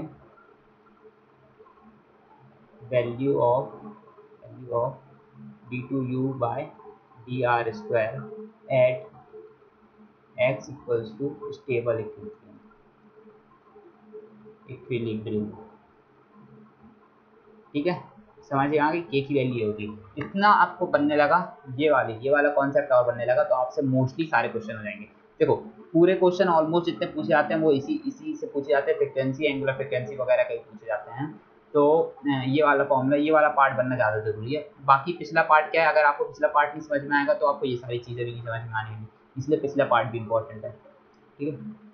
चलिए, ये क्वेश्चन है कहाँ का? T I F R two thousand thirteen का, है ना? टी आई एफ़ आर का क्वेश्चन है टी एफ़ आर में भी पूछा था ये। क्या पूछ रहा है? आपको एक पोटेंशियल दिया है मास एम ऑसिलेट कर रहा है वन डायमेंशन में। वन डायमेंशन मतलब एक्स की बात कर रहे हैं यहाँ पे। है? पोटेंशियल एनर्जी दी आपको v x equals to v x equals to minus a upon x by l का whole square plus b into x by l का की पावर फोर है ना? तो आपको क्या निकालना है? Frequency of small oscillation under under what stable condition stable equilibrium की कंडीशन के अंदर आपको निकालना है। अच्छा सबसे पहले क्या करेंगे? स्टेबल इक्विलिब्रियम कंडीशन निकालेंगे d t v by d x है ना? ये d v by d x क्या निकालेंगे? Stable equilibrium. अगर इसकी वैल्यू ज़ीरो हो जाएगी तो स्टेबल इक्विलिब्रियम बन जाएगा। तो निकाल के देख लो, क्या आ जाएगा अपना? क्या आएगा? क्या जाएगी आपकी इसकी वैल्यू? इसको डिफरेंशिएशन करोगे बी को एक्स के रिस्पेक्ट में डिफरेंशिएट करोगे तो क्या आ जाएगी? Two a x by l ना? Two a x by l यही आएगी कि नहीं? ये इसका एक्स स्क्वायर का क्या आ जाएगा? टू एक्स हो जाएगा और कुछ नहीं। और ए, एक वन बाय एल भी आ जाएगा। क्यों? क्योंकि अंदर एक्स का भी डिफ्रेंशिएशन करेंगे है ना? क्योंकि x square upon l square हो जाएगा ठीक है? ये आ जाएगी अपनी वैल्यू अच्छा यहाँ का क्या आ जाएगा four b x cube upon अंदर का करेंगे तो क्या आ जाएगा? एक्स करेंगे one upon l l to the power five ठीक है? ये हो जाएगा। समझ में आया? X upon l to the power four x यही होगा ना? देखो x to the power four upon l ये हो जाएगा, ठीक है? इसका क्या जाएगा? Four x cube x cube हो जाएगा l to the power four multiply में, ठीक है? जस्ट इट जस्ट दिस ये हो जाएगा हमारा sorry l to the power five नहीं होगा l to the the power four ही होगा केवल यहाँ। समझ में आई? बात समझ में आ रही है? ठीक है, ये हो गया हमारा। इसको क्या, किससे इक्वेट कर दो? ज़ीरो से इक्वेट कर दो। क्या जाएगी value minus two a x upon l square plus four b x cube upon l to the power four की वैल्यू ज़ीरो से इक्वेट कर दी मैंने। क्या आ जाएगी मेरी एक्स की वैल्यू इससे क्या निकल के आ जाएगी? निकाल के देखो। ऐसे कर दो दो पार्ट में डिवाइड हो जाएगी। स्क्रीन थोड़ी कम भर आती है। ऐसे कर ये मेरी हो गया। ठीक है? यहाँ पे क्या आ जाएगा? Two a x upon l square की वैल्यू किसकी आएगी? Four b x cube upon l l to the power four अच्छा काटा पीटी कर लो। एक्स एक्स और इक्वेशन सॉल्व करोगे एक्स एक्स तो कैंसिल हो जाएगा सबसे पहले, है ना? तीन एक्स की तीन वैल्यू आएँगी। एक वैल्यू तो एक्स इक्वल टू ज़ीरो पे आ जाएगी। एक्स इक्वल टू ज़ीरो रखने पे दोनों इक्वेशन इक्वेशन सेटिस्फाई हो रही तो मतलब एक ज़ीरो का आ जाएगा, एक एक अपना क्या आ जाएगा, इसकी ज़ीरो की वैल्यू क्या आ जाएगी? एक्स इक्वल टू ज़ीरो ठीक है? मतलब एक वैल्यू अपनी एक्स इक्वल टू ज़ीरो आ जाएगी, ठीक है? अगेन एक्स एक्स कैंसिल करके देखो तो टू ए एल स्क्वायर भी कैंसिल हो गया तो क्या बचा? Four b x square upon l square ठीक है? ये बच रहा है। Two a l square upon four b equals to x square तो यहाँ पे एक्स की वैल्यू क्या आ गई? प्लस माइनस एल स्क्वायर ठीक है? एल स्क्वायर है। तो जहाँ ये a by two b a by two b under root l ये आ गई। ये वैल्यू आ गई प्लस माइनस अपनी किसकी? एक्स की, ठीक है? एक्स की वैल्यू आ गई? Plus minus l under root of a by two b ठीक है? ये आ रही वैल्यू इसको सॉल्व करने पे यही वैल्यू आ रही है। देख लो चेक करके देखो, ठीक है? तो अपने पास क्या आ गई? एक्स की तीन वैल्यू आ गई। अच्छा अब d two v by d x square निकालो d two v by d x square इसको, यही थी अपनी? D v by d x यही है ना? ये क्या है? D v by d x है अपनी? ये वाला जो, ये टर्म है d v by d x है। अच्छा इसको डिफ्रेंशिएट करेंगे एक बार और तो क्या आ जाएगा? एक बार डिफ्रेंशिएट करने पे क्या आ जाएगा? Minus two a upon l square आ जाएगा। इधर डिफ्रेंशिएट करने के फर्दर तो क्या आ जाएगा? Four थीजा twelve b x cube sorry twelve b x square upon l to the power four ये आ जाएगा। अच्छा at x equals to zero at x equals to zero इसकी value d two v by d x square की value क्या हो जा रही है मेरी? At x equal to zero ये वाली टर्म ज़ीरो हो गई, ये वाली वैल्यू नेगेटिव है, इसकी वैल्यू नेगेटिव आ गई मतलब लेस देन ज़ीरो आ गई। लेस देन ज़ीरो का मतलब क्या होता है? Unstable equilibrium sorry stable equilibrium मतलब मिनिमा की कंडीशन हो गई ना? मिनिमा क्या होता है मेरा? अनस्टेबल इक्विलिब्रियम सॉरी तो आ, क्या हो जाएगा मेरा? अनस्टेबल हो जाएगा सॉरी ठीक है? क्योंकि मैक्सिमम की कंडीशन गई ठीक है? अनस्टेबल यहाँ पे तो ऑसिलेशन हो गई इसकी बात करनी नहीं है। इसको मिटा देते हैं जगह का सदुपयोग करते हैं। ठीक है? इसको मिटाते हुए ऐसे कर देते हैं। ठीक है? अगेन आप रख के देखते हैं, अब किसकी वैल्यू एक्स प्लस ये ये रख के देखते हैं अपन, है ना? तो देखो एक्स स्क्वायर की वैल्यू क्या आ जाएगी मेरी? एक्स स्क्वायर की वैल्यू ये है आपकी, ठीक है? D two b by d x square इन दोनों पॉइंट्स की वैल्यू अगर मैं यहाँ रख के देखूँ तो क्या आ जाएगी मेरी? टू ए अपॉन एल ये ये तो पहले से टर्म थी। एक्स स्क्वायर की वैल्यू मैं यहाँ रख रहा हूँ। एक्स स्क्वायर की वैल्यू यहाँ से उठा के यहाँ रख रहा हूँ। इन दोनों पॉइंट्स के लिए एक्स स्क्वायर यही होगा ना? कोई शक तो नहीं है इसमें। Twelve b upon l to the power four x square की वैल्यू क्या आ जाएगी मेरी?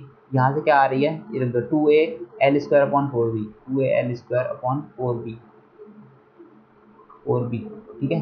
एल स्क्वायर से l to the power four cancel तो एल स्क्वायर बचा। बी से बी कैंसिल फोर से ट्वेल्व कैंसिल तो थ्री बचा। थ्री टू जो six a upon l square क्या आ रहा है? Minus two a upon l square क्या आ रहा है? Six a upon l square इसकी वैल्यू सॉल्व करने पे आई four a upon l square ठीक है? मतलब ग्रेटर देन ज़ीरो मतलब क्या बन गया? D two v by d x d x square at x equals to plus minus under root a upon two v l square इस पर value क्या आ रही मेरी? ग्रेटर देन ज़ीरो आ रही है। ज़ीरो मतलब पॉजिटिव मतलब कि वॉट मिनिमा मिनिमा मतलब ये क्या बन गया? अपना स्टेबल इक्विलिब्रियम बन गया। अब क्या करना है? ये मेरी वैल्यू किसकी हो जाएगी? के की वैल्यू मैंने बताया ना अभी? क्या बताया था? के की वैल्यू हो गई मेरी ये। क्या होती है? स्टेबल इक्विलिब्रियम पे इसकी value d two u by d x square या d two u by d r square की वैल्यू मेरी क्या कहलाती है? के हो जाती है। के हो जाती है। तो इसकी वैल्यू के की वैल्यू अपन को गिवन मिल गई। कितनी मिल गई? Four a upon l square मिल गई। ठीक है? एम की वैल्यू मास एम है। देखो क्वेश्चन में क्या बोल रहा है? मास एम बोल रहा है। क्वेश्चन में मास एम दिया होगा ना? पार्टिकल ऑफ़ मास एम ठीक है? के की वैल्यू मिल गई। एम की वैल्यू मिल गई। अपन से क्या पूछ रहा है? फ्रिक्वेंसी पूछ रहा है। फ्रिक्वेंसी स्मॉल एसिलेशन फ्रिक्वेंसी पूछ रहा है। के मिल गया एम मिल गया वन अपॉइंट टू पाई कर देंगे अंडर रूट में करके, ठीक है? फ्रिक्वेंसी क्या जाएगी? One upon two pi under root of k upon m मतलब one upon two pi under root of k की, ये रख देंगे four a upon l square m ठीक है? ये आ गया मेरा फ्रिक्वेंसी क्या आ गई? Four a upon l square m under root में, और ये वन अपॉइंट टू पाए का बाहर मल्टीप्लिकेशन इसको फर्दर और सॉल्व करना तो कर सकते हो। स्पेस नहीं है थोड़ा सा तो दिक्कत हो रही है। ये देखो, ये नोट कर लो, फिर मैं यहाँ बता देता हूँ थोड़ा सा और सॉल्व करके।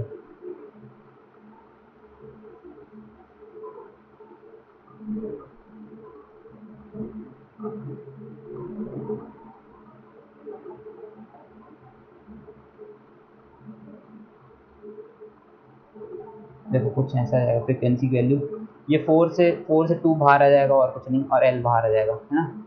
One upon pi l answer क्या जाएगा? One upon pi L hmm और अंडर अंदर क्या बचेगा? ए अपॉन एम ठीक है? ए अपॉन एम बचेगा। फोर और टू और एल बाहर आ जाएगा क्योंकि तो इसका रूट निकालोगे, ठीक है? टू और एल बाहर आ जाएगा तो एक से टू से टू कैंसिल हो जाएगा, ये बच जाएगा। तो आंसर ही आ जाएगा, ठीक है? ऑप्शन दिए हैं क्या यहाँ पे? नहीं ऑप्शन नहीं दिए तो ऑप्शन करेक्ट ऑप्शन क्या हो जाएगा? ये। ठीक है? चलो, आगे और क्वेश्चन कर लेते हैं थोड़े से। इसी के फ्रिक्वेंसी वाले क्वेश्चन कर लेते हैं।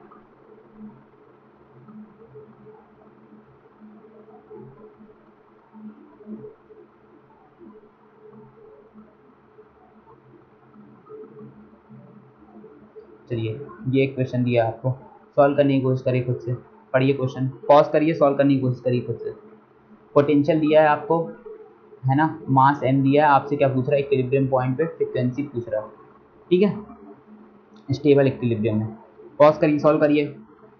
चलिए, मैं करता हूँ। D V by D X की वैल्यू अगेन क्या कर देंगे? ज़ीरो कर देंगे। D V by D X की वैल्यू क्या आएगी minus A plus two B X equal to zero X की वैल्यू क्या आ गई? है ना? एक्स की वैल्यू क्या आ गई है? अपनी स्टेबल इक्विलिब्रियम मतलब यहाँ पे एक्स की वैल्यू क्या बोलते हो? एक्स नॉट बोलते स्टेबल इक्विलिब्रियम के लिए।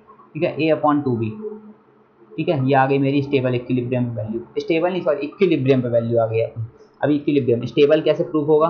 D two U by D V square निकालना पड़ेगा, इसकी वैल्यू पॉजिटिव आनी चाहिए तो. इसकी वैल्यू हमेशा क्या आ रही? है टू बी आ रही है. मतलब इसकी वैल्यू हमेशा कॉन्स्टेंट होगी.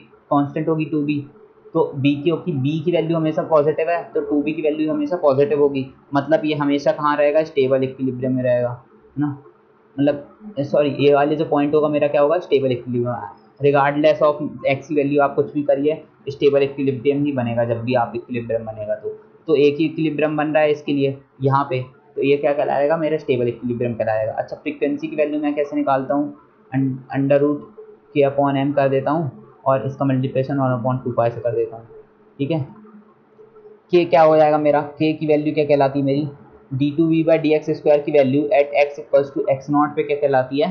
के कहलाती है। तो के की वैल्यू क्या जाएगी? D two V by D X square की value at X equals to X naught पे क्या कहलाती मेरी के कहलाती उसकी वैल्यू हमेशा क्या है? टू बी है। हमेशा टू बी है, ठीक है? ये तो मेरा फिक्स हो गया। टू के क्या हो गया? मेरा टू बी एम की वैल्यू दी हुई है गिवन क्वेश्चन में वन अपॉन टू फाइव ठीक है? ये आ गया फ्रिक्वेंसी आ गई आपकी। एफ़ की वैल्यू कितनी आ गई? One upon two pi under root two B upon M ये आ गया आंसर सिंपल क्वेश्चन है। शायद जैम वगैरह का क्वेश्चन है। पी वाई क्यूज ही होगा, है ना?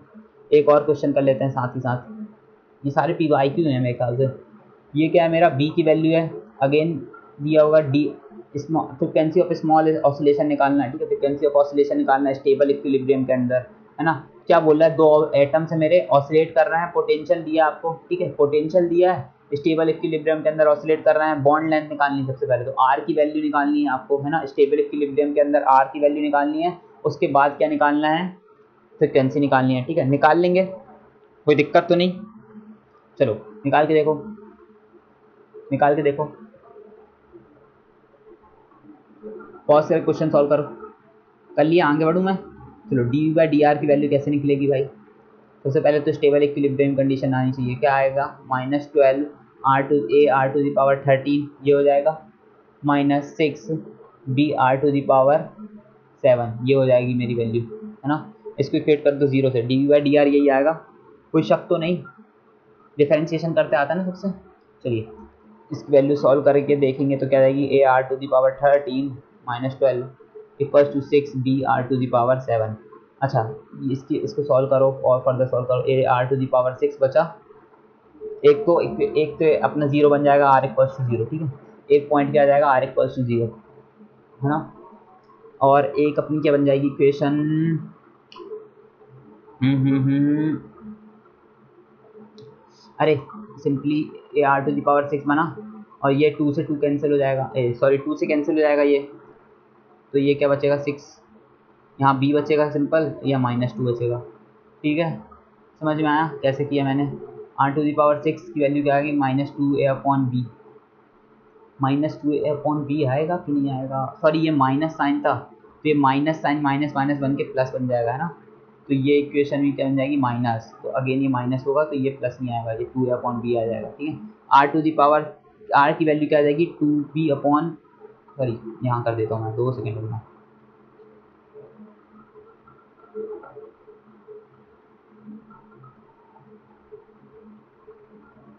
ये हो जाएगी वैल्यू कुछ। आर की वैल्यू मेरी कितनी आ गई? Root of two A upon B का सिक्स रूट ठीक है? सिक्स रूट के अंदर, या फिर ऐसे लिख लो टू ए अपॉन बी की power one by six one upon six ये आ गई वन अपॉन सिक्स ये आ गई मेरी आर की वैल्यू ये काय के लिए? अभी आर की वैल्यू इक्विलिब्रियम कंडीशन है, ठीक है? इक्विलिब्रियम कंडीशन अब मेरे को क्या निकालना है? स्टेबल एंड अनस्टेबल इक्विलिब्रियम की वैल्यू निकालनी अच्छा। ये मेरी काय की वैल्यू है? ये मेरी काय की value D V by D R इसको एक और बार डिफ्रेंशिएशन करूँगा आर के रिस्पेक्ट में तो अगेन मेरे को क्या मिल जाएगा? Minus two A upon R to the power thirteen minus six B upon R to the power seven plus six B upon R to the power seven ये मेरी, इसको एक और बार डिफ्रेंशिएशन करूँगा विद रिस्पेक्ट टू आर मेरे को क्या मिल जाएगा? D two V by D R square ठीक है? ये मिल जाएगा। डिफ्रेंशिएट कर दो क्या जाएगा? Minus twelve into minus thirteen कितना जाएगा? Minus twelve into minus thirteen ये आ जाएगा। A upon R to the power fourteen plus six into minus seven into B R to the power R to the power what eight है ना? ये हो जाएगी। आ, अब आर की जगह ज़ीरो रखने पे तो क्या आ जाएगा इन्फन पहुँच जाएगा है ना? आर की जगह ज़ीरो रखने पे इन्फानाइट पहुँच जाएगा मतलब नॉट डिफाइंड हो जाएगा है ना? आर कुछ नहीं है मेरा है ना? आर की जगह इन्फानाइट रख देंगे सॉरी आर की जगह ज़ीरो रखने पे इन्फानाइट जा रहा है तो ये तो टर्म देखेंगे नहीं। प्लस दूसरी आर की वैल्यू क्या थी मेरी? हम्म, इनका मल्टीप्लिकेशन कर लेते हैं सबसे पहले तो। क्या हो जाएगा? हम एक सौ तीस और छब्बीस और ऐड कर दो उसमें क्या हो जाएगा? सिक्स तीन दो पाँच एक सौ छप्पन ठीक है? एक सौ छप्पन हो जाएगा मेरा। इसकी वैल्यू क्या हो जाएगी? एक सौ छप्पन प्लस एक सौ छप्पन। One five six A R to the power fourteen. छः सत्य बयालीस minus forty two B upon R to the power eight. अपन को R to the power six की वैल्यू पता है। R to the power six की वैल्यू क्या है? टू अपॉन बी यही है ना? यही थी ना? R to the power six की वैल्यू टू अपॉन बी थी। चलो R to the power six की वैल्यू अपन को पता है तो यहाँ पे आर टू दी पावर दो सेकेंड सॉल्व करते हैं अपन। इसको। क्वेश्चन का कॉन्सेप्ट बिल्कुल सिंपल रहेंगे, सिर्फ़ कैलकुलेशन थोड़ी सी उठ पटांग रहती है। चलिए 156 अब यहाँ पे क्या रखते हैं? ए कॉमन है। R to the power six को दो बार मल्टीप्लिकेशन करेंगे तो क्या जाएगा? Two A upon B into two A upon B ठीक है? बच गया क्या? आर स्क्वायर बच गया। आर स्क्वायर बच गया। या फिर सीधे आर की वैल्यू रख देते हैं आर सिंपल आर की वैल्यू रखते हैं तो ज़्यादा बेटर रहेगा। सिचुएशन ज़्यादा बेटर हो जाएगी, ठीक है? आर की वैल्यू रख दो भाई, सीधे सीधे आर की वैल्यू रख दो। आर की वैल्यू क्या है? मेरी वन अपॉन सिक्स है ना? One by six A R to the power क्या है मेरा? ये है ना? इसकी वैल्यू वन बाय सिक्स थी, है ना? टू ए अपॉन बी की वैल्यू वन बाय सिक्स थी, ठीक है? सिक्स रूट था ना आर है ना? टू ए अपॉन बी का। तो इस, इसका फोर्टीन टाइम्स करना है अपन को तो क्या हो जाएगा? फोर्टीन बाय सिक्स आ जाएगा मेरा। ठीक है? कोई दिक्कत तो नहीं? कोई दिक्कत तो नहीं? ये आ गया मेरा। ये आ गया। अच्छा again forty two B R की वैल्यू फिर से कर दो। बी अपॉन टू ए की वैल्यू कितनी आ रही है? एट अपॉन सिक्स ये आ गई। इसकी वैल्यू निकाल के देखो क्या आ जाएगी। फिफ्टी सिक्स ए इसको सॉल्व करो। टू सिक्स ट्वेल्व आ जाएगा। सिक्स ट्वेल्व आ गया अपना तो वो तो कैसे कैंसिल हो जाएगा, वो बी अपॉन टू ए का होल स्क्वायर आ जाएगा इन टू मल्टीप्लीकेशन में। इसको ऐसे ले सकता हूँ ना टू प्लस ऐसे लिख सकता हूँ ना two plus one by three है ना? ये यार ना थ्री टू सिक्स प्लस एक सेवन बाय सॉरी रुकना दो सेकेंड हाँ सेवन बाय थ्री इसको सेवन बाय थ्री ये लिख सकता हूँ मैं ठीक है? माइनस फोर्टी टू बी इसको अगेन क्या लिख सकता हूँ? B upon two A one plus what two six मतलब वन बाय थ्री ठीक है? Six three one three four by three है ना? मतलब सेम आ जाएगा ठीक है? तो ये अपना स्क्वायर कैंसिल हो जाएगा ठीक है? इसके साथ वन फिफ्टी सिक्स ए है जाएगा बी अपॉन टू ए का whole square into multiplication B upon two A का root one by three minus forty two B minus plus तो नहीं मिस कर रहे हैं कहीं पे, वरना सीधे आंसर आ जाता है। देख लेते हैं, एक बार चेक कर लेते हैं। ये निगेटिव हो जाएगी, ये वैल्यू निगेटिव है। ये पॉजिटिव हो जाएगी क्योंकि एक माइनस इसका, एक माइनस उसका ठीक है? पॉजिटिव निगेटिव वैल्यू रहेंगी तो ये अगले वाले हैं पॉजिटिव ये अगले वाले नेगेटिव ठीक है? नहीं सॉल्व ही करना पड़ेगा अपन को और कुछ नहीं option B upon two A हो जाएगा।